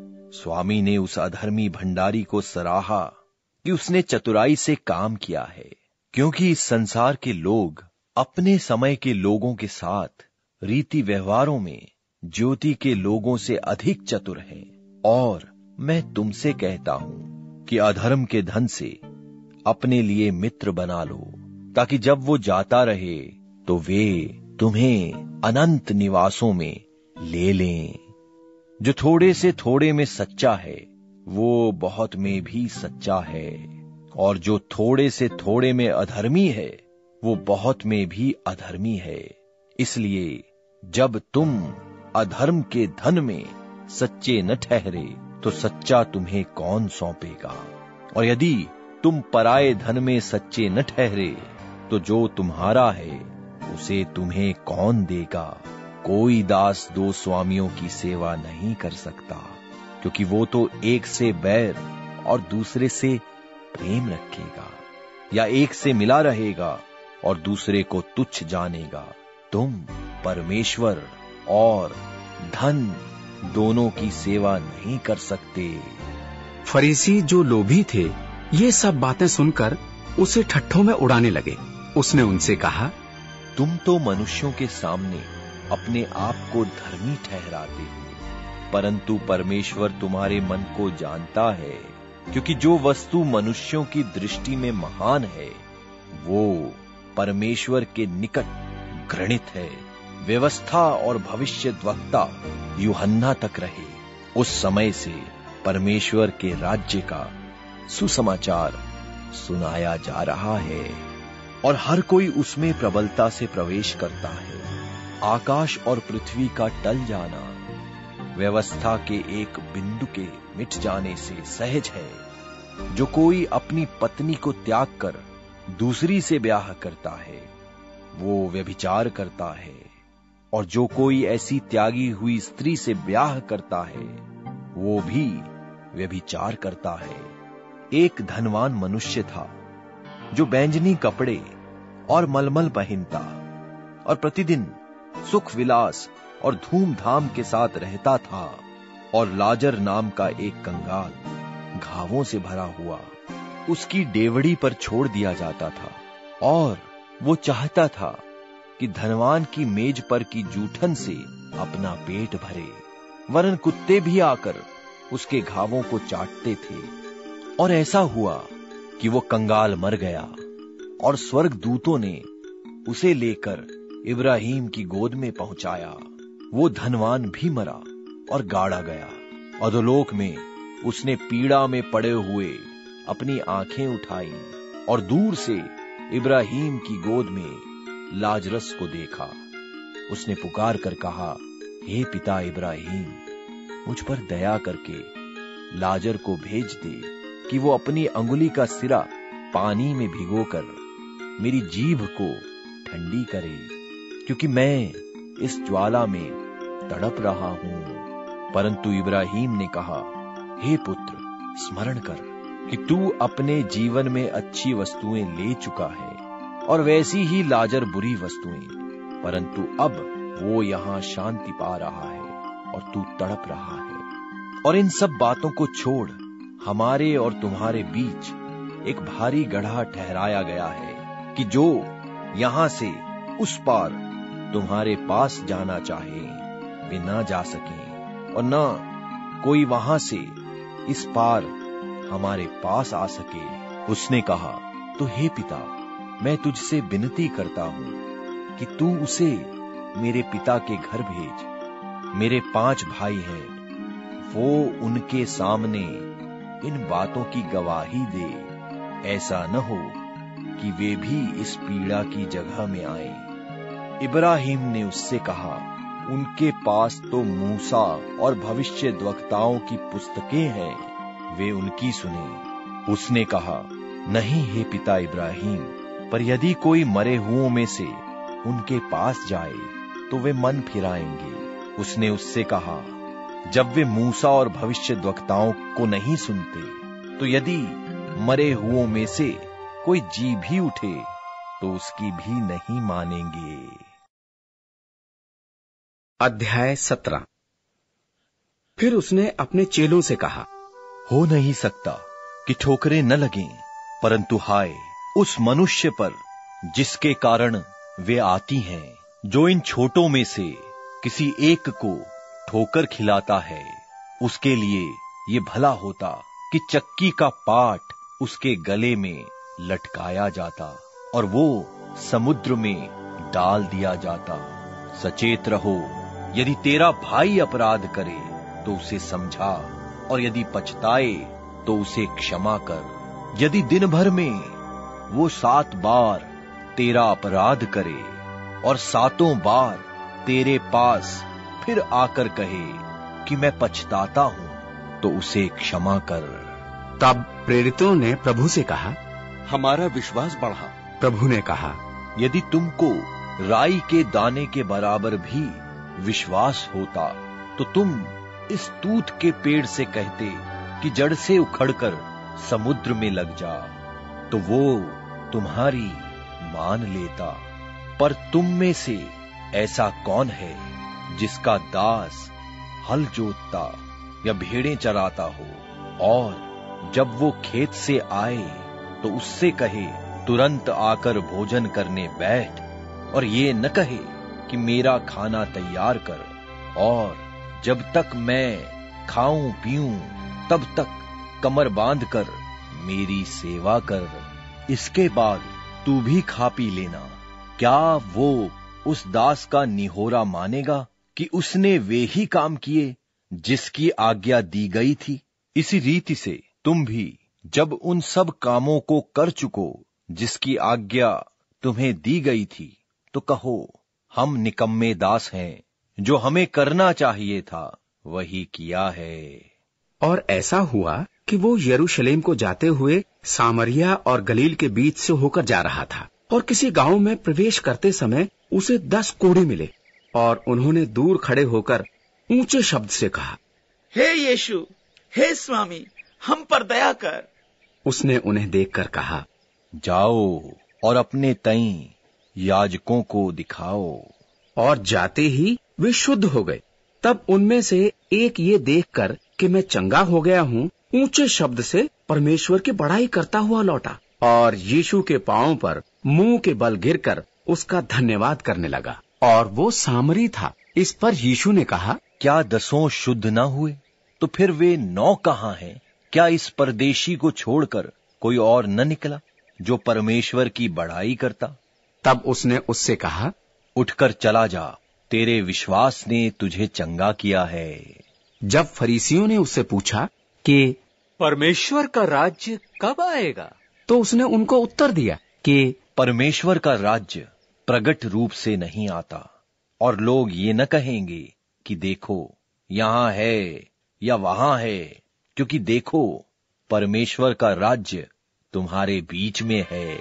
और उसने चेलों से कहा वे दिन आएँगे जिनमें तुम मनुष्य के पुत्र के दिनों में से एक दिन को देखना चाहोगे और नहीं देखने पाओगे।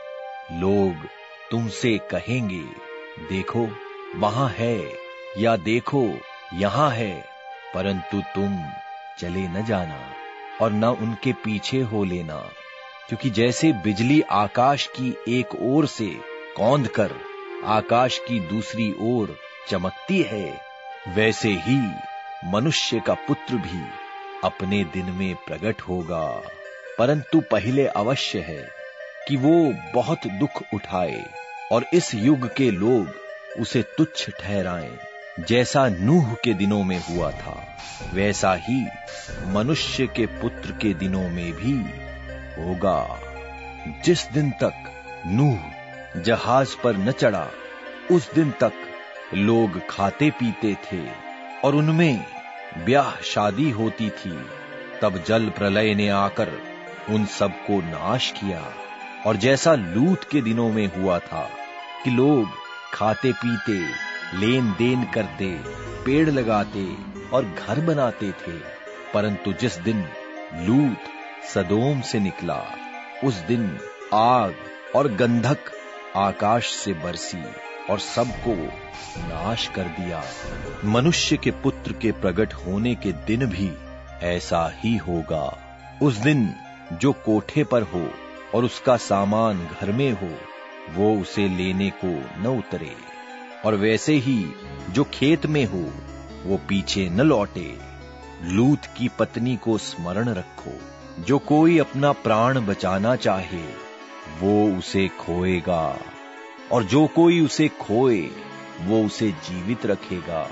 मैं तुमसे कहता हूँ, उस रात दो मनुष्य एक खाट पर होंगे। एक ले लिया जाएगा और दूसरा छोड़ दिया जाएगा।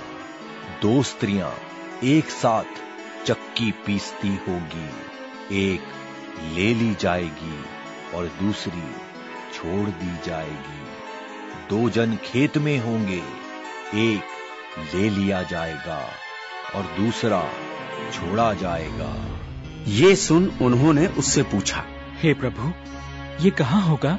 उसने उनसे कहा जहाँ लोथ है वहाँ गिद्ध इकट्ठे होंगे। अध्याय अठारह।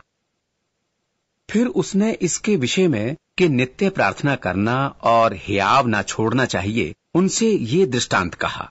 किसी नगर में एक न्यायी रहता था, जो न परमेश्वर से डरता था और न किसी मनुष्य की परवाह करता था, और उसी नगर में एक विधवा रहती थी, जो उसके पास आ आकर कहा करती थी कि मेरा न्याय चुकाकर मुझे मुद्दई से बचा।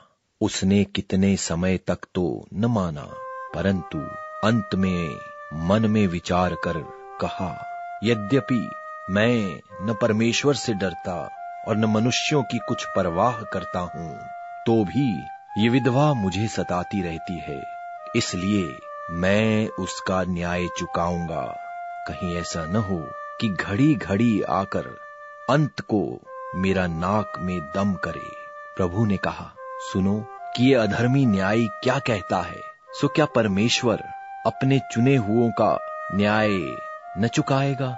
जो रात दिन उसकी दुहाई देते रहते हैं और क्या वो उनके विषय में देर करेगा? मैं तुमसे कहता हूँ वो तुरंत उनका न्याय चुकाएगा। तो भी मनुष्य का पुत्र जब आएगा तो क्या वो पृथ्वी पर विश्वास पाएगा? और उसने कितनों को जो अपने ऊपर भरोसा रखते थे कि हम धर्मी हैं और औरों को तुच्छ जानते थे ये दृष्टांत कहा। दो मनुष्य मंदिर में प्रार्थना करने के लिए गए। एक फरीसी था और दूसरा चुंगी लेने वाला। फरीसी खड़ा होकर अपने मन में यो प्रार्थना करने लगा कि, हे परमेश्वर, मैं तेरा धन्यवाद करता हूँ कि मैं और मनुष्यों की नाई अंधेर करने वाला अन्यायी और व्यभिचारी नहीं और न इस चुंगी लेने वाले के समान हूँ। मैं सप्ताह में दो बार उपवास करता हूँ। मैं अपनी सब कमाई का दसवां अंश भी देता हूँ। परंतु चुंगी लेने वाले ने दूर खड़े होकर स्वर्ग की ओर आँख उठाना भी न चाहा। वरन अपनी छाती पीट पीट कर कहा, हे परमेश्वर, मुझ पापी पर दया कर। मैं तुमसे कहता हूँ, वो दूसरा नहीं।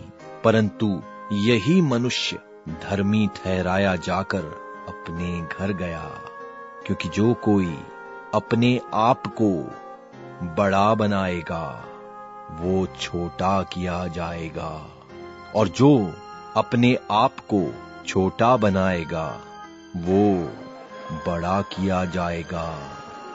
फिर लोग अपने बच्चों को भी उसके पास लाने लगे कि वो उन पर हाथ रखे और चेलों ने देखकर उन्हें डांटा। यीशु ने बच्चों को पास बुलाकर कहा, बालकों को मेरे पास आने दो और उन्हें मना न करो, क्योंकि परमेश्वर का राज्य ऐसों ही का है। मैं तुमसे सच कहता हूँ कि जो कोई परमेश्वर के राज्य को बालक की नाई ग्रहण न करेगा, वो उसमें कभी प्रवेश करने न पाएगा। किसी सरदार ने उससे पूछा हे उत्तम गुरु अनंत जीवन का अधिकारी होने के लिए मैं क्या करूँ? यीशु ने उससे कहा तू मुझे उत्तम क्यों कहता है? कोई उत्तम नहीं केवल एक अर्थात परमेश्वर। तू आज्ञाओं को तो जानता है कि व्यभिचार न करना हत्या न करना और चोरी न करना झूठी गवाही न देना अपने पिता और अपनी माता का आदर करना। उसने कहा मैं तो इन सबको लड़कपन ही से मानता आया हूँ।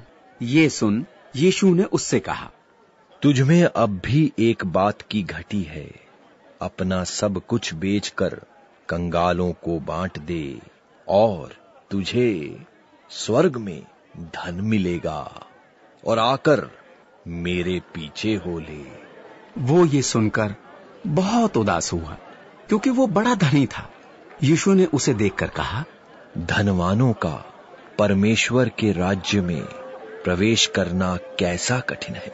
परमेश्वर के राज्य में धनवानों के प्रवेश करने से ऊँट का सुई के नाके में से निकल जाना सहज है। और सुनने वालों ने कहा तो फिर किसका उद्धार हो सकता है? उसने कहा जो मनुष्य से नहीं हो सकता वो परमेश्वर से हो सकता है।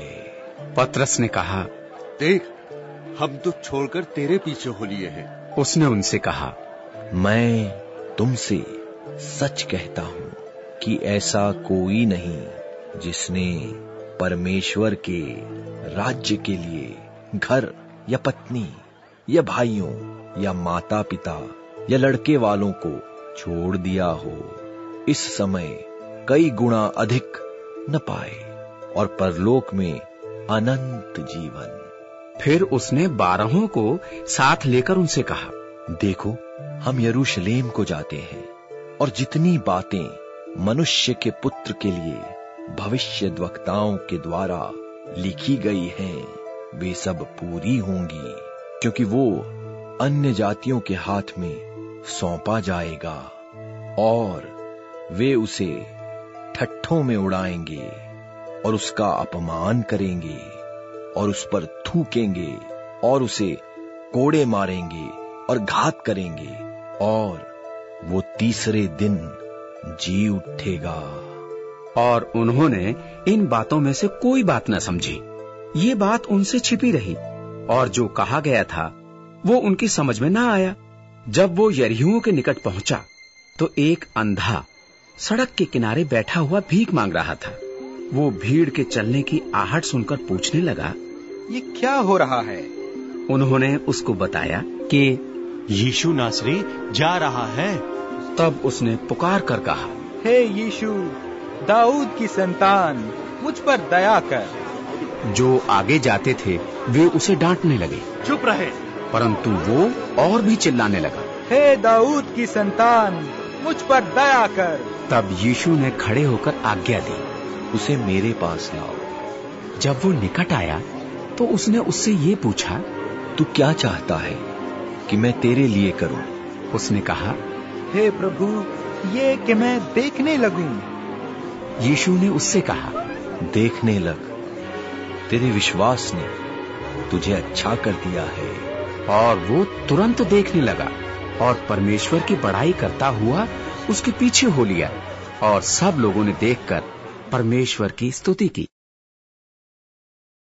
अध्याय 19 वो यरीहुओं में प्रवेश करके जा रहा था और देखो, जक्कई नाम एक मनुष्य था जो चुंगी लेने वालों का सरदार था। वो धनी था। वो यीशु को देखना चाहता था कि वो कैसा है, परंतु भीड़ के कारण देख ना सकता था। क्योंकि वो नाटा था। तब उसको देखने के लिए वो आगे दौड़कर एक गूलर के पेड़ पर चढ़ गया, क्योंकि यीशु उसी मार्ग से जाने वाला था। जब यीशु उस जगह पहुँचा तो ऊपर दृष्टि करके उससे कहा, हे जकई, झट उतरा क्योंकि आज मुझे तेरे घर में रहना अवश्य है। वो तुरंत उतरकर आनंद से उसे अपने घर ले गया। ये देखकर सब लोग कुड़कुड़ाकर कहने लगे वह तो एक पापी मनुष्य के यहाँ जा उतरा है। जक्कई ने खड़े होकर प्रभु से कहा हे प्रभु देख मैं अपनी आधी संपत्ति कंगालों को देता हूँ और यदि किसी का कुछ भी अन्याय करके ले लिया है तो उसे चौगना फेर देता हूँ। तब यीशु ने उससे कहा आज इस घर में उद्धार आया है इसलिए कि ये भी इब्राहिम का एक पुत्र है क्योंकि मनुष्य का पुत्र खोए हुओं को ढूँढने और उनका उद्धार करने आया है। जब वे ये बातें सुन रहे थे तो उसने एक दृष्टांत कहा क्योंकि वो यरूशलेम के निकट था और वे समझते थे कि परमेश्वर का राज्य अभी प्रकट होने वाला है। उसने कहा एक धनी मनुष्य दूर देश को चला कि राजपद पाकर फिर आए। उसने अपने दासों में से दस को बुलाकर उन्हें दस मोहरें दी। और उनसे कहा, मेरे लौट आने तक लेन देन करना उसके नगर के रहने वाले उससे बैर रखते थे। इसलिए उसके पीछे दूतों के द्वारा कहला भेजा। हम नहीं चाहते कि ये हम पर राज्य करे। जब वो राजपद पाकर लौट आया तो ऐसा हुआ कि उसने अपने दासों को, जिन्हें रोकड़ दी थी अपने पास बुलवाया कि मालूम करे कि उन्होंने लेन देन से क्या क्या कमाया है। तब पहले ने आकर कहा, हे स्वामी, तेरी मोहर से दस और मोहरें कमाई हैं। उसने उससे कहा, धन्य है उत्तम दास, तू बहुत ही थोड़े में विश्वासी निकला। अब दस नगरों पर अधिकार रख।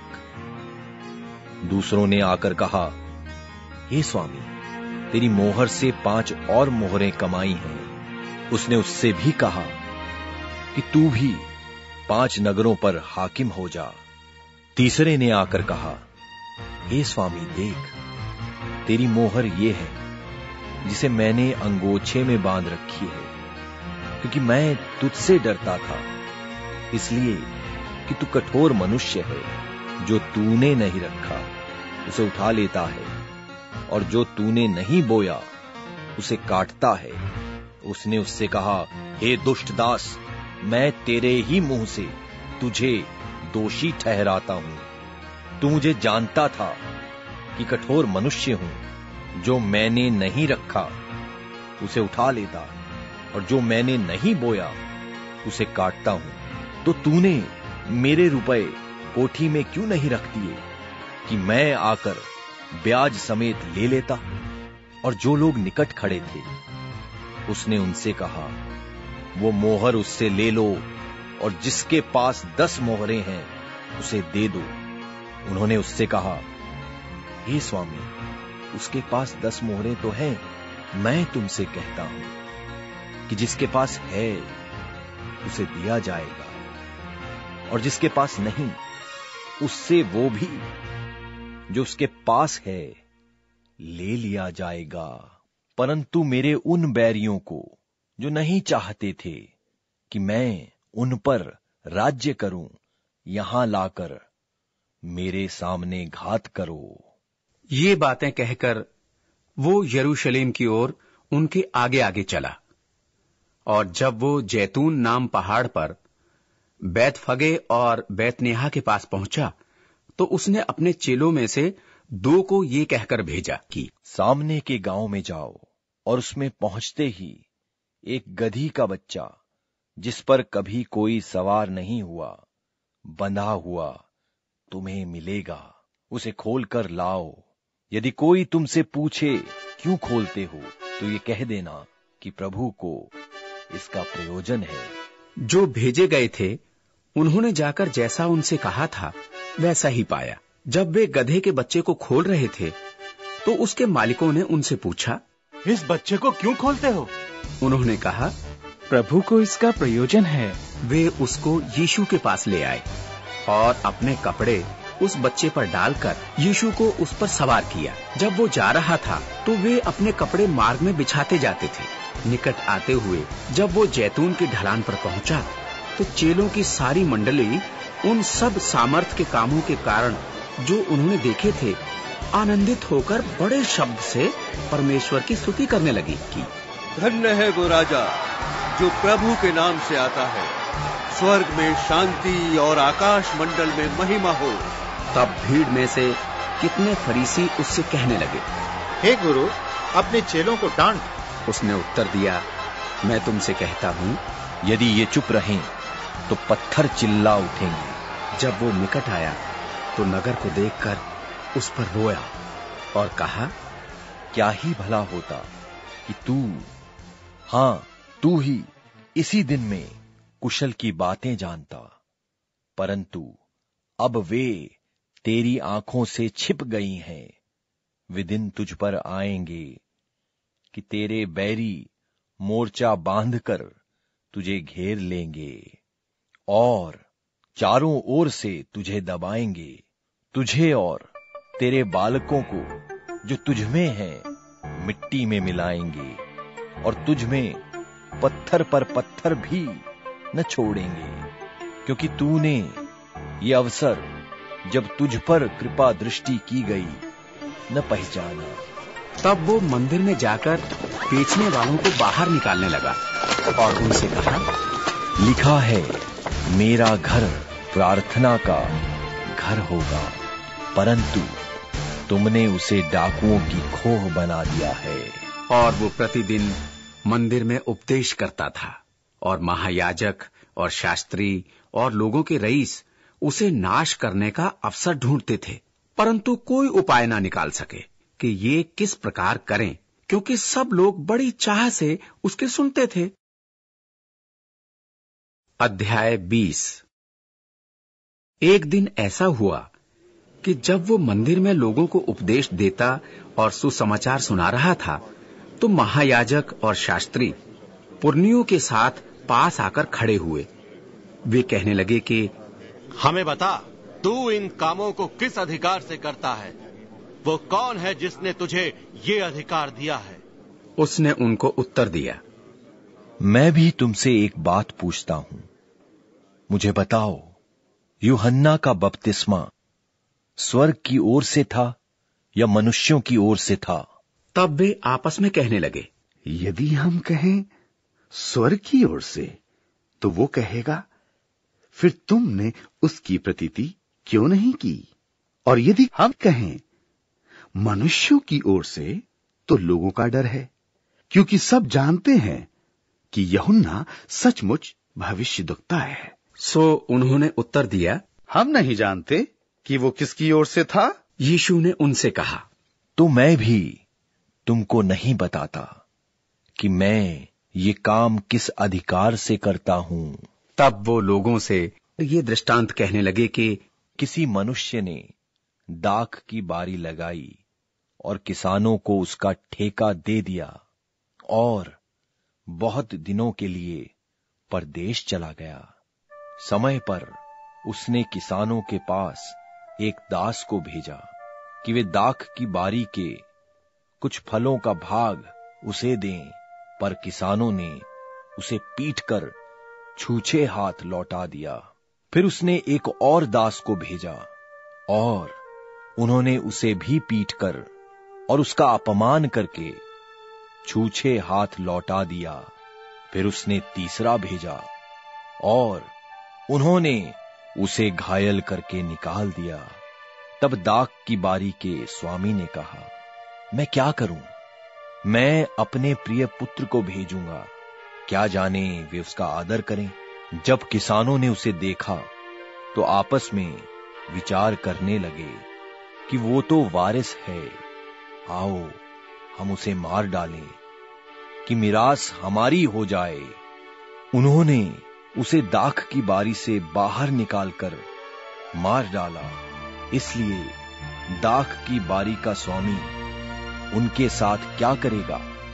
वो आकर उन किसानों को नाश करेगा और दाख की बारी औरों को सौंपेगा।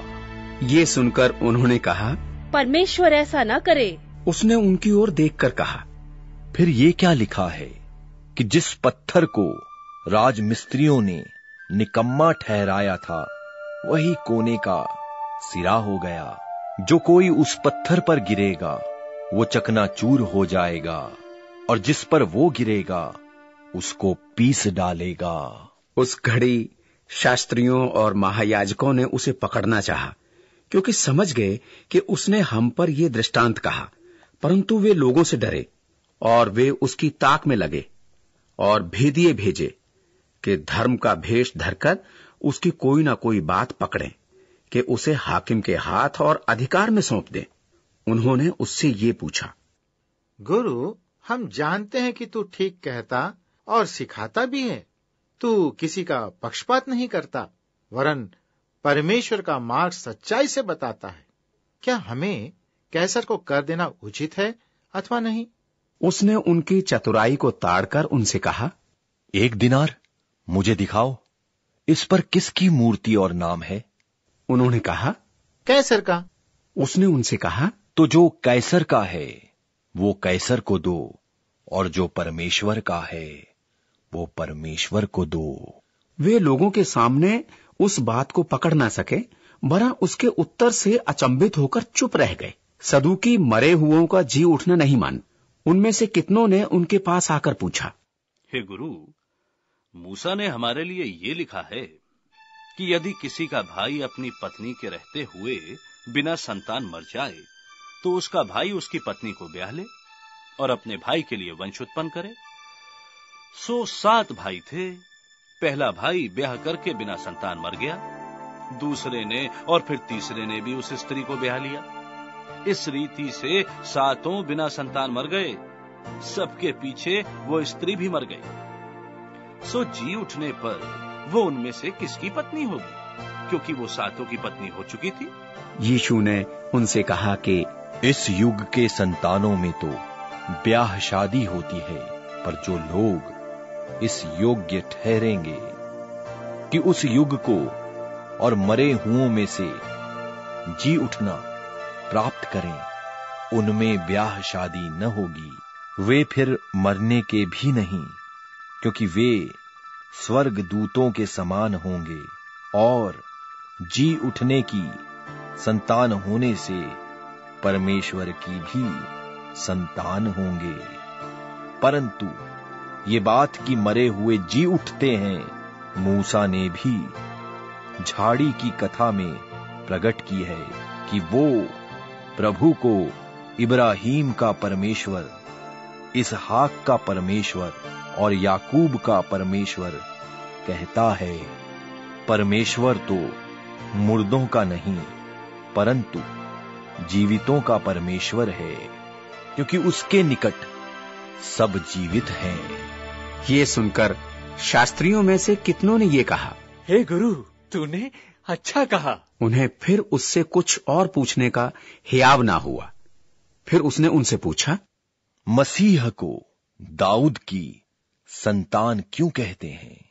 दाऊद आप भजन संहिता की पुस्तक में कहता है प्रभु ने मेरे प्रभु से कहा मेरे दाहिने बैठ जब तक कि मैं तेरे बैरियों को तेरे पावों के तले न कर दूँ। दाऊद तो उसे प्रभु कहता है। तो फिर वो उसकी संतान कैसे ठहरा? जब सब लोग सुन रहे थे तो उसने अपने चेलों से कहा शास्त्रियों से चौकस रहो जिनको लंबे लंबे वस्त्र पहने हुए फिरना भाता है और जिन्हें बाजारों में नमस्कार और सभाओं में मुख्य आसन और जेवनारों में मुख्य स्थान प्रिय लगते हैं। वे विधवाओं के घर खा जाते हैं और दिखाने के लिए बड़ी देर तक प्रार्थना करते रहते हैं। ये बहुत ही दंड पाएँगे। अध्याय 21 फिर उसने आँख उठाकर धनवानों को अपना अपना दान भंडार में डालते देखा। उसने एक कंगाल विधवा को भी उसमें दो दमड़ियाँ डालते देखा। तब उसने कहा मैं तुमसे सच कहता हूँ कि इस कंगाल विधवा ने सबसे बढ़कर डाला क्योंकि उन सबने अपनी अपनी बढ़ती में से दान में कुछ डाला है परंतु इसने अपनी घटी में से अपनी सारी जीविका डाल दी है। जब कितने लोग मंदिर के विषय में कह रहे थे कि वो कैसे सुंदर पत्थरों और भेंट की वस्तुओं से संवारा गया है? तो उसने कहा वे दिन आएँगे जिनमें ये सब जो तुम देखते हो उनमें से यहाँ किसी पत्थर पर पत्थर भी न छूटेगा जो ढाया न जाएगा। उन्होंने उससे पूछा हे गुरु ये सब कब होगा? और ये बातें जब पूरी होने पर होंगी तो उस समय का क्या चिन्ह होगा? उसने कहा चौकस रहो कि भरमाए न जाओ, क्योंकि बहुतेरे मेरे नाम से आकर कहेंगे कि मैं वही हूँ। और ये भी कि समय निकट आ पहुँचा है, तुम उनके पीछे न चले जाना। और जब तुम लड़ाइयों और बलवों की चर्चा सुनो तो घबरा न जाना, क्योंकि इनका पहले होना अवश्य है परंतु उस समय तुरंत अंत न होगा। तब उसने उनसे कहा कि जाति पर जाति और राज्य पर राज्य चढ़ाई करेगा और बड़े बड़े भूई डोल होंगे और जगह जगह अकाल और मरियाँ पड़ेंगी और आकाश से भयंकर बातें और बड़े बड़े चिन्ह प्रकट होंगे। परंतु इन सब बातों से पहले वे मेरे नाम के कारण तुम्हें पकड़ेंगे और सताएँगे और पंचायतों में सौंपेंगे और बंदी गृह में डलवाएँगे और राजाओं और हाकिमों के सामने ले जाएँगे। पर ये तुम्हारे लिए गवाही देने का अवसर हो जाएगा। इसलिए अपने मन में ठान रखो कि हम पहले से उत्तर देने की चिंता न करेंगे, क्योंकि मैं तुम्हें ऐसा बोल और बुद्धि दूँगा कि तुम्हारे सब विरोधी सामना या खंडन न कर सकेंगे और तुम्हारे माता पिता और भाई और कुटुंब और मित्र भी तुम्हें पकड़वाएँगे। यहाँ तक कि तुम में से कितनों को मरवा डालेंगे। और मेरे नाम के कारण सब लोग तुमसे बैर करेंगे। परंतु तुम्हारे सिर का एक बाल भी बांका न होगा। अपने धीरज से तुम अपने प्राणों को बचाए रखोगे। जब तुम यरूशलेम को सेनाओं से घिरा हुआ देखो तो जान लेना कि उसका उजड़ जाना निकट है। तब जो यहूदिया में हो, वो पहाड़ों पर भाग जाएँ। और जो यरूशलेम के भीतर हों, वे बाहर निकल जाएँ। और जो गाँवों में हों, वे उसमें न जाएँ। क्योंकि ये पलटा लेने के ऐसे दिन होंगे, जिनमें लिखी हुई सब बातें पूरी हो जाएँगी। उन दिनों में जो गर्भवती और दूध पिलाती होंगी, उनके लिए हाय हाय, क्योंकि देश में बड़ा क्लेश और इन लोगों पर बड़ी आपत्ति होगी, वे तलवार के कौर हो जाएँगे। और सब देशों के लोगों में बंधुए होकर पहुँचाए जाएँगे। और जब तक अन्य जातियों का समय पूरा न हो, तब तक यरूशलेम अन्य जातियों से रौंदा जाएगा। और सूरज और चाँद और तारों में चिन्ह दिखाई देंगे। पृथ्वी पर देश देश के लोगों को संकट होगा, क्योंकि वे समुद्र के गरजने और लहरों के कोलाहल से घबरा जाएँगे। और भय के कारण और संसार पर आने वाली घटनाओं की बाट देखते देखते लोगों के जी में जी न रहेगा, क्योंकि आकाश की शक्तियाँ हिलाई जाएँगी। तब वे मनुष्य के पुत्र को सामर्थ और बड़ी महिमा के साथ बादल पर आते देखेंगे। जब ये बातें होने लगें तो सीधे होकर अपने सिर ऊपर उठाना क्योंकि तुम्हारा छुटकारा निकट होगा। उसने उनसे एक दृष्टांत भी कहा कि अंजीर के पेड़ और सब पेड़ों को देखो जो ही उनकी कोंपलें निकलती हैं तो तुम देखकर आप ही जान लेते हो कि ग्रीष्म काल निकट है। इसी रीति से जब तुम ये बातें होते देखो, तब जान लो कि परमेश्वर का राज्य निकट है।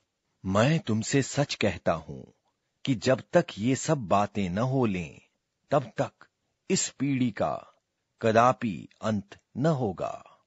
आकाश और पृथ्वी टल जाएँगे, परंतु मेरी बातें कभी न टलेंगी। इसलिए सावधान रहो। ऐसा न हो कि तुम्हारे मन, खुमार और मतवालेपन और इस जीवन की चिंताओं से सुस्त हो जाएँ और वो दिन तुम पर फंदे की नाई अचानक आ पड़े। क्योंकि वो सारी पृथ्वी के सब रहने वालों पर इसी प्रकार आ पड़ेगा। इसलिए जागते रहो और हर समय प्रार्थना करते रहो। कि तुम इन सब आने वाली घटनाओं से बचने और मनुष्य के पुत्र के सामने खड़े होने के योग्य बनो। और वो दिन को मंदिर में उपदेश करता था और रात को बाहर जाकर जैतून नाम पहाड़ पर रहा करता था और भोर को तड़के सब लोग उसके सुनने के लिए मंदिर में उसके पास आया करते थे। अध्याय 22 अखमीरी रोटी का पर्व जो फसह कहलाता है, निकट था। महायाजक और शास्त्री इस बात की खोज में थे कि उसको किसी प्रकार मार डालें, पर वे लोगों से डरते थे। शैतान यहूदा में समाया, जो इस करियोती कहलाता और बारह चेलों में गिना जाता था। उसने जाकर महायाजकों और पहरुओं के सरदारों के साथ बातचीत की कि उसको किस प्रकार उनके हाथ पकड़वाएँ। वे आनंदित हुए और उसे रुपए देने का वचन दिया। उसने मान लिया और अवसर ढूँढने लगा कि बिना उपद्रव के उसे उनके हाथ पकड़वा दे।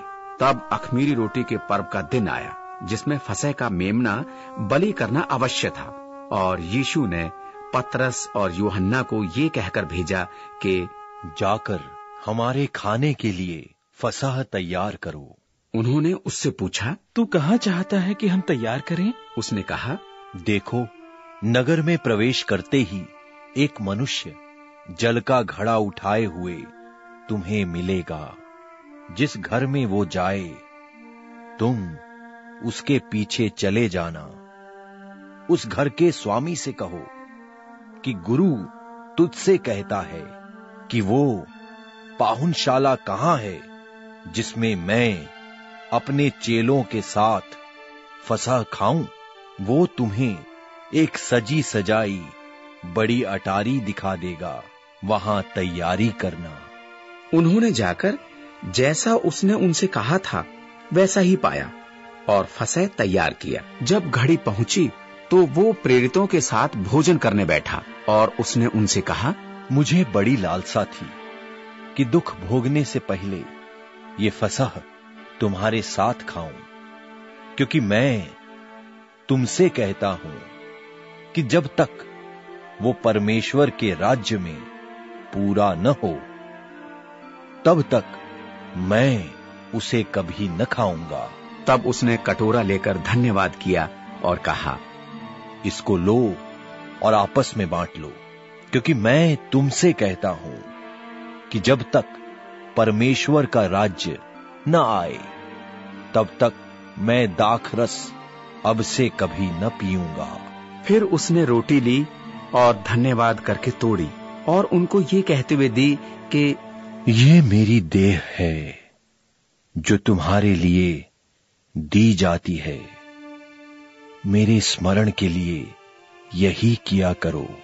इसी रीति से उसने ब्यारी के बाद कटोरा भी ये कहते हुए दिया कि ये कटोरा मेरे उस लोहू में, जो तुम्हारे लिए बहाया जाता है, नई वाचा है। पर देखो, मेरे पकड़वाने वाले का हाथ मेरे साथ मेज पर है, क्योंकि मनुष्य का पुत्र तो जैसा उसके लिए ठहराया गया है, जाता ही है। पर हाय उस मनुष्य पर, जिसके द्वारा वो पकड़वाया जाता है। तब वे आपस में पूछताछ करने लगे कि हम में से कौन है जो ये काम करेगा?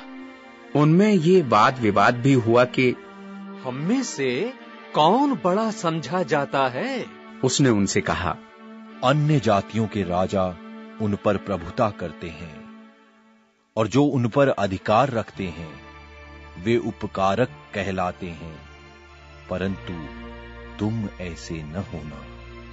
वरन जो तुम में बड़ा है, वो छोटे की नाई और जो प्रधान है, वो सेवक के नाई बने।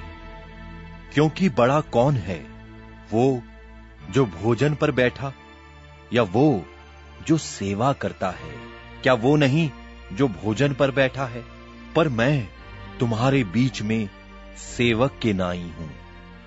परंतु तुम वो हो जो मेरी परीक्षाओं में लगातार मेरे साथ रहे और जैसे मेरे पिता ने मेरे लिए एक राज्य ठहराया है, वैसे ही मैं भी तुम्हारे लिए ठहराता हूँ कि तुम मेरे राज्य में मेरी मेज पर खाओ पियो, वरन सिंहासनों पर बैठकर इसराइल के बाहर गोत्रों का न्याय करो।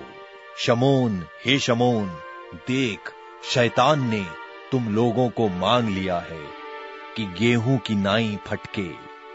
परंतु मैंने तेरे लिए विनती की कि तेरा विश्वास जाता न रहे और जब तू फिरे तो अपने भाइयों को स्थिर करना। उसने उससे कहा हे प्रभु मैं तेरे साथ बंदी ग्रह जाने वरन मरने को भी तैयार हूँ।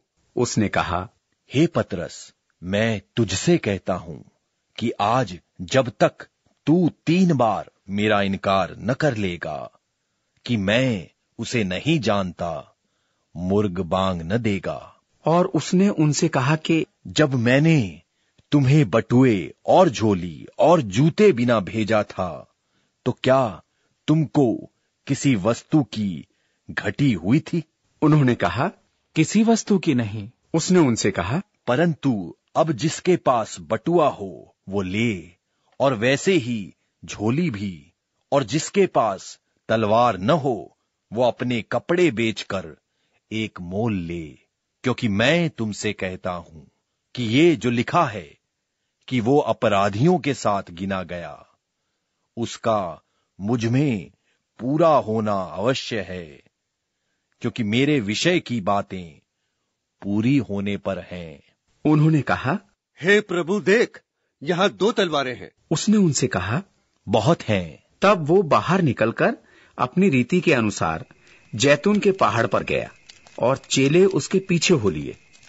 उस जगह पहुंचकर उसने उनसे कहा प्रार्थना करो कि तुम परीक्षा में न पड़ो। और वो आप उनसे अलग एक ढेला फेंकने के टप्पे पर गया और घुटने टेकर प्रार्थना करने लगा। हे पिता यदि तू चाहे तो इस कटोरे को मेरे पास से हटा ले। तो भी मेरी नहीं, परंतु तेरी ही इच्छा पूरी हो। तब स्वर्ग से एक दूत उसको दिखाई दिया, जो उसे सामर्थ देता था। और वो अत्यंत संकट में व्याकुल होकर और भी हृदय वेदना से प्रार्थना करने लगा। उसका पसीना मानो लोहू की बड़ी बड़ी बूंदों की न्याई भूमि पर गिर रहा था। तब वो प्रार्थना से उठा और अपने चेलों के पास आकर उन्हें उदासी के मारे सोता पाया और उसने कहा, क्यों सोते हो? उठो, प्रार्थना करो कि परीक्षा में न पड़ो। वो ये कह ही रहा था कि देखो, एक भीड़ आई और उन बारों में से एक जिसका नाम यहूदा था उनके आगे आगे आ रहा था। ये यीशु के पास आया कि उसका चुम्मा ले। यीशु ने उससे कहा हे यहूदा क्या तू चूमा लेकर मनुष्य के पुत्र को पकड़वाता है? उसके साथियों ने जब देखा कि क्या होने वाला है तो कहा हे प्रभु क्या हम तलवार चलाएँ? और उनमें से एक ने महायाजक के दास पर चलाकर उसका दाहिना कान उड़ा दिया। इस पर यीशु ने कहा अब बस करो। और उसका कान छूकर उसे अच्छा किया। तब यीशु ने महायाजकों और मंदिर के पहरुओं के सरदारों और पुरनियों से जो उस पर चढ़ाए थे कहा, क्या तुम मुझे डाकू जानकर तलवारें और लाठियाँ लिए हुए निकले हो? जब मैं मंदिर में हर दिन तुम्हारे साथ था तो तुमने मुझ पर हाथ न डाला, पर यह तुम्हारी घड़ी है। और अंधकार का अधिकार है। फिर वे उसे पकड़कर ले चले और महायाजक के घर में लाए। और पतरस दूर ही दूर उसके पीछे पीछे चलता था। और जब वे आँगन में आग सुलगाकर इकट्ठे बैठे तो पतरस भी उनके बीच में बैठ गया। और एक लौंडी उसे आग के उजियाले में बैठे देखकर और उसकी ओर ताक कर कहने लगी, ये भी तो उसके साथ था। परंतु उसने ये कहकर इनकार किया कि हे नारी मैं उसे नहीं जानता। थोड़ी देर बाद किसी और ने उसे देखकर कहा तू भी तो उन्हीं में से है। पतरस ने कहा हे मनुष्य मैं नहीं हूँ। कोई घंटे भर के बाद एक और मनुष्य दृढ़ता से कहने लगा निश्चय ये भी तो उसके साथ था क्योंकि ये गलीली है। पतरस ने कहा हे मनुष्य, मैं नहीं जानता कि तू क्या कहता है। वो कह ही रहा था कि तुरंत मुर्ग ने बांग दी। तब प्रभु ने घूमकर पतरस की ओर देखा।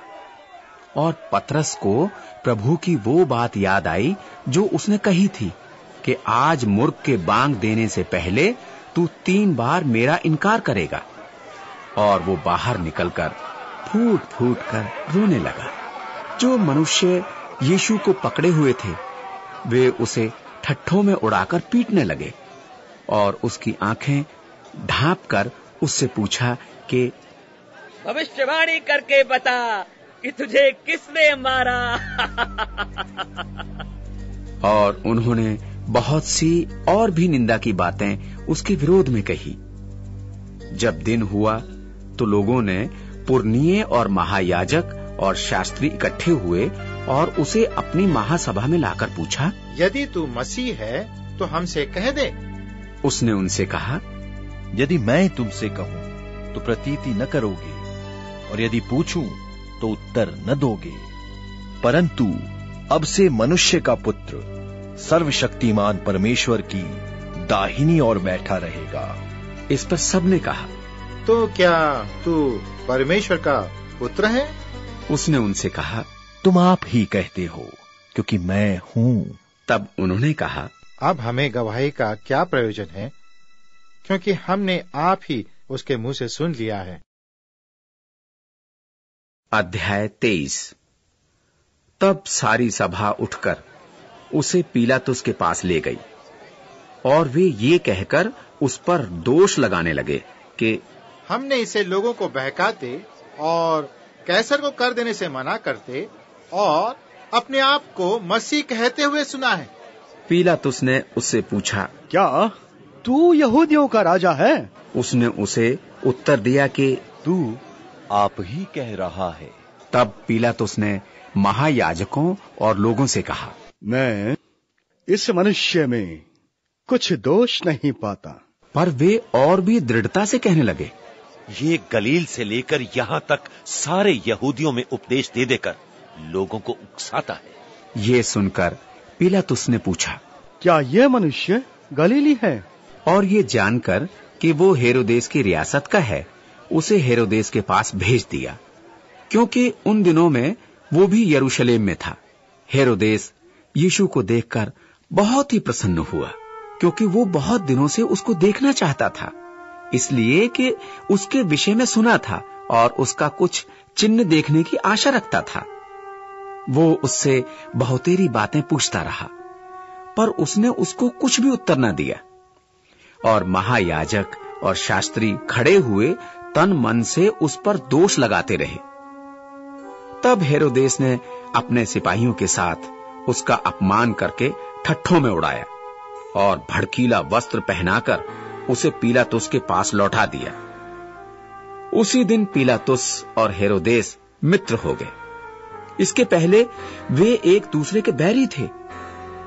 पीलातुस ने महायाजकों और सरदारों और लोगों को बुलाकर उनसे कहा, तुम इस मनुष्य को लोगों को बहकाने वाला ठहराकर मेरे पास लाए हो। देखो, मैंने तुम्हारे सामने उसकी जाँच की, पर जिन बातों का तुम उस पर दोष लगाते हो, उन बातों के विषय में मैंने उसमें कुछ भी दोष नहीं पाया है। ना हेरोदस ने क्योंकि उसने उसे हमारे पास लौटा दिया है।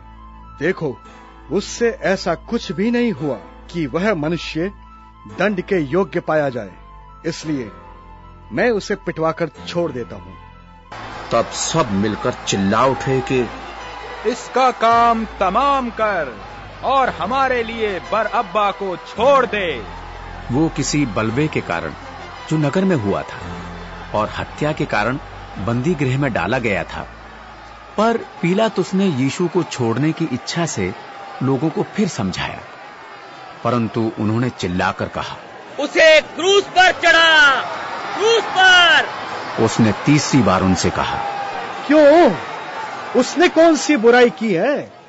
मैंने उसमें मृत्यु के दंड के योग्य कोई बात नहीं पाई। इसलिए मैं उसे पिटवा कर छोड़ देता हूँ। परंतु वे चिल्लाकर पीछे पड़ गए कि वो क्रूस पर चढ़ाया जाए। और उनका चिल्लाना प्रबल हुआ। सो पिलातुस ने आज्ञा दी कि उनकी विनती के अनुसार किया जाए। और उसने उस मनुष्य को जो बलबे और हत्या के कारण बंदी गृह में डाला गया था और जिसे वे चाहते थे छोड़ दिया। और यीशु को उनकी इच्छा के अनुसार सौंप दिया। जब वे उसे लिए जाते थे तो उन्होंने शमौन नाम एक कुरैनी को, जो गाँव से आ रहा था, पकड़कर उस पर क्रूस लाद दिया कि उसे यीशु के पीछे ले चले। लोगों की बड़ी भीड़ उसके पीछे हो ली। और बहुत सी स्त्रियाँ भी, जो उसके लिए छाती पीटती और विलाप करती थी। यीशु ने उनकी ओर फिर कर कहा, हे यरूशलेम की पुत्रियों, मेरे लिए मत रो, परंतु अपने और अपने बालकों के लिए रो, क्योंकि देखो, वे दिन आते हैं जिनमें कहेंगे, धन्य है वे जो बांझ हैं, और वे गर्भ जो न जने, और वे स्तन जिन्होंने दूध न पिलाया, उस समय वे पहाड़ों से कहने लगेंगे कि हम पर गिरो, और टीलों से कि हमें ढांप लो, क्योंकि जब वे हरे पेड़ के साथ ऐसा करते हैं तो सूखे के साथ क्या कुछ न किया जाएगा? वे और दो मनुष्यों को भी जो कुकर्मी थे उसके साथ घात करने को ले चले। जब वे उस जगह जिसे खोपड़ी कहते हैं पहुँचे तो उन्होंने वहाँ उसे और उन कुकर्मियों को भी एक को दाहिनी ओर दूसरे को बाई ओर क्रूसों पर चढ़ाया। तब यीशु ने कहा हे पिता इन्हें क्षमा कर। क्योंकि ये नहीं जानते कि क्या कर रहे हैं। और उन्होंने चिट्ठियाँ डालकर उसके कपड़े बांट लिए। लोग खड़े खड़े देख रहे थे और सरदार भी ठट्ठा करके कहते थे कि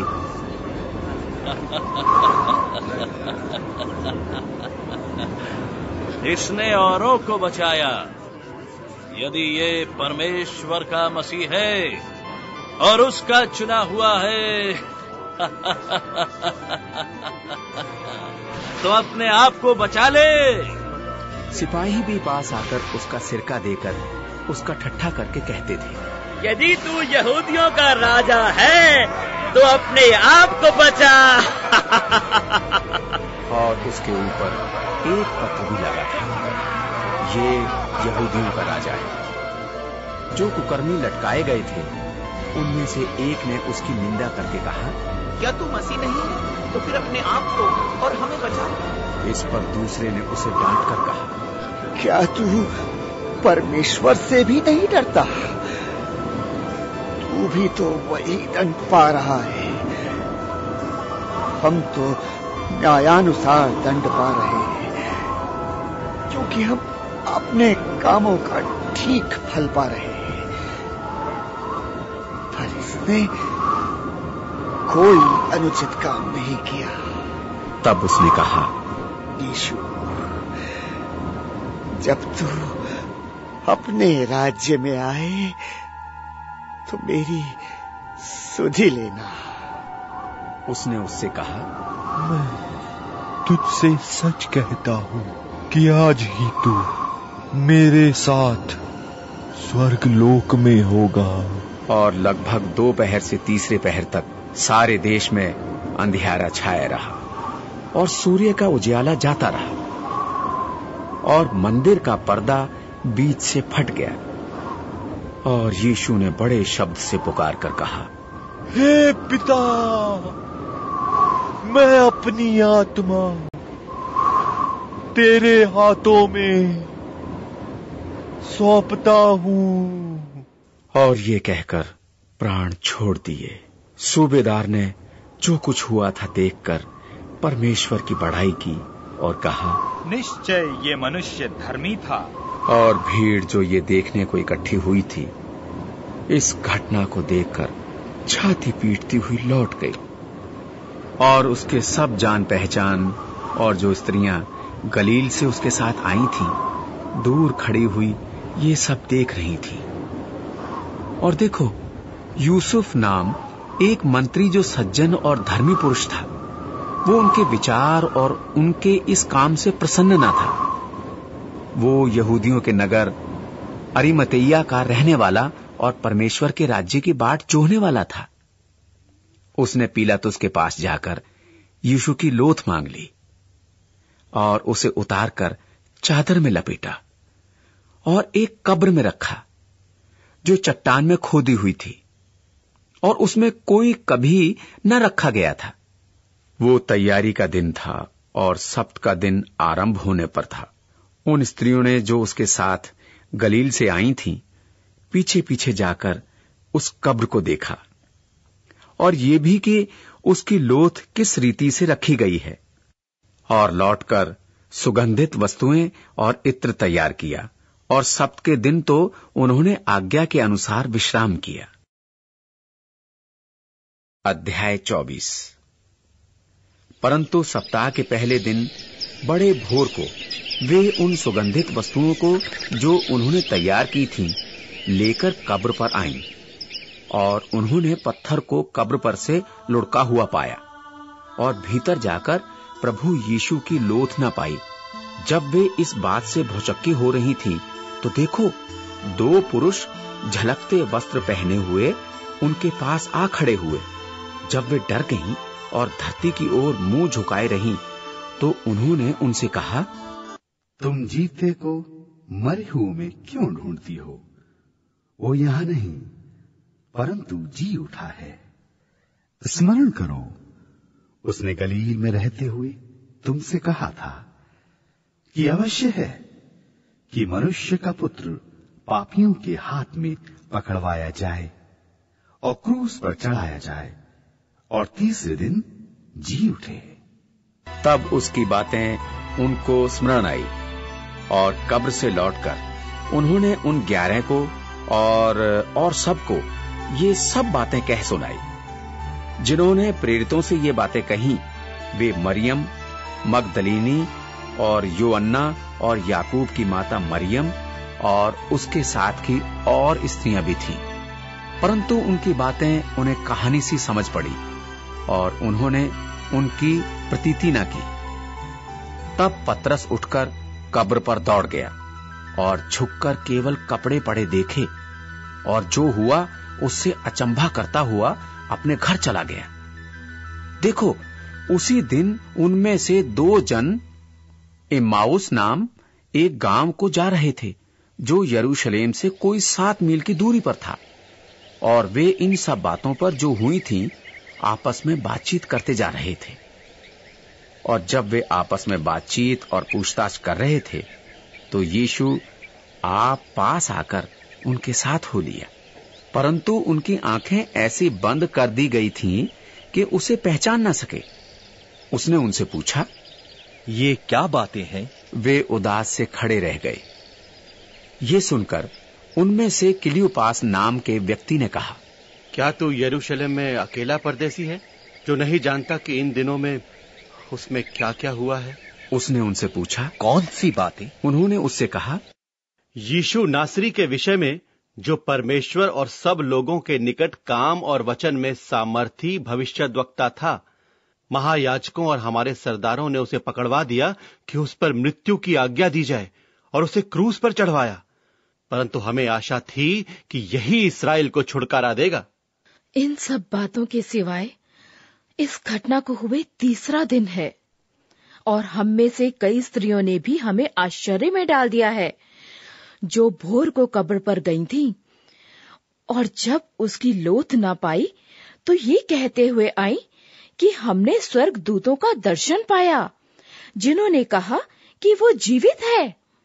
तब हमारे साथियों में से कई एक कब्र पर गए और जैसा स्त्रियों ने कहा था वैसा ही पाया परंतु उसको ना देखा। तब उसने उनसे कहा हे निर्बुद्धियों और भविष्य वक्ताओं की सब बातों पर विश्वास करने में मंदमतियों। क्या अवश्य न था कि मसीह ये दुख उठाकर अपनी महिमा में प्रवेश करे। तब उसने मूसा से और सब भविष्य दुक्ताओं से आरंभ करके सारे पवित्र शास्त्रों में से अपने विषय में की बातों का अर्थ उन्हें समझा दिया। इतने में वे उस गाँव के पास पहुँचे जहाँ वे जा रहे थे और उसके ढंग से ऐसा जान पड़ा कि वो आगे बढ़ा चाहता है। परंतु उन्होंने ये कहकर उसे रोका कि हमारे साथ रहे, क्योंकि संध्या हो चली है और दिन अब बहुत ढल गया है। तब वो उनके साथ रहने के लिए भीतर गया। जब वो उनके साथ भोजन करने बैठा तो उसने रोटी लेकर धन्यवाद किया और उसे तोड़कर उनको देने लगा। तब उनकी आँखें खुल गई और उन्होंने उसे पहचान लिया और वो उनकी आँखों से छिप गया। उन्होंने आपस में कहा जब वो मार्ग में हमसे बातें करता था और पवित्र शास्त्र का अर्थ हमें समझाता था तो क्या हमारे मन में उत्तेजना न उत्पन्न हुई? वे उसी घड़ी उठकर यरूशलेम लौट गए और उन ग्यारह और उनके साथियों को इकट्ठे पाया। वे कहते थे, प्रभु सचमुच जी उठा है और शमोन को दिखाई दिया है। तब उन्होंने मार्ग की बातें उन्हें बता दी और ये भी कि उन्होंने उसे रोटी तोड़ते समय क्यों कर पहचाना। वे ये बातें कह ही रहे थे कि वो आप ही उनके बीच में आ खड़ा हुआ और उनसे कहा तुम शांति मिले। परंतु वे घबरा गए और डर गए और समझे कि हम किसी भूत को देखते हैं। उसने कहा क्यों घबराते हो? और तुम्हारे मन में क्यों संदेह उठते हैं? मेरे हाथ और मेरे पाँव देखो कि मैं वही हूँ। मुझे छूकर देखो आत्मा के हड्डी मांस नहीं होता जैसा मुझमें देखते हो। ये कहकर उसने उन्हें अपने हाथ पाँव दिखाए। जब आनंद के मारे उनको प्रतीति न हुई और वे आश्चर्य करते थे तो उसने उनसे पूछा क्या यहाँ तुम्हारे पास कुछ भोजन है? उन्होंने उसे भूनी मछली का टुकड़ा दिया। उसने उसे लेकर उनके सामने खाया। फिर उसने उनसे कहा, ये मेरी वे बातें हैं, जो मैंने तुम्हारे साथ रहते हुए तुमसे कही थी, कि अवश्य है कि जितनी बातें मूसा की व्यवस्था और भविष्य वक्ताओं और भजनों की पुस्तकों में मेरे विषय में लिखी है सब पूरी हूँ। तब उसने पवित्र शास्त्र बूझने के लिए उनकी समझ खोल दी और उनसे कहा यो लिखा है कि मसीह दुख उठाएगा और तीसरे दिन मरे हुओं में से जी उठेगा और यरूशलेम से लेकर सब जातियों में, मन फिराव का और पापों की क्षमा का प्रचार उसी के नाम से किया जाएगा। तुम इन सब बातों के गवाह हो। और देखो, जिसकी प्रतिज्ञा मेरे पिता ने की है, मैं उसको तुम पर उतारूँगा। और जब तक स्वर्ग से सामर्थ न पाओ, तब तक तुम इसी नगर में ठहरे रहो। तब वो उन्हें वैत नेहा तक बाहर ले गया और अपने हाथ उठाकर उन्हें आशीष दी। उन्हें आशीष देते हुए वो उनसे अलग हो गया और स्वर्ग पर उठा लिया गया। वे उसको दंडवत करके बड़े आनंद से यरूशलेम को लौट गए और लगातार मंदिर में उपस्थित होकर परमेश्वर की स्तुति किया करते थे।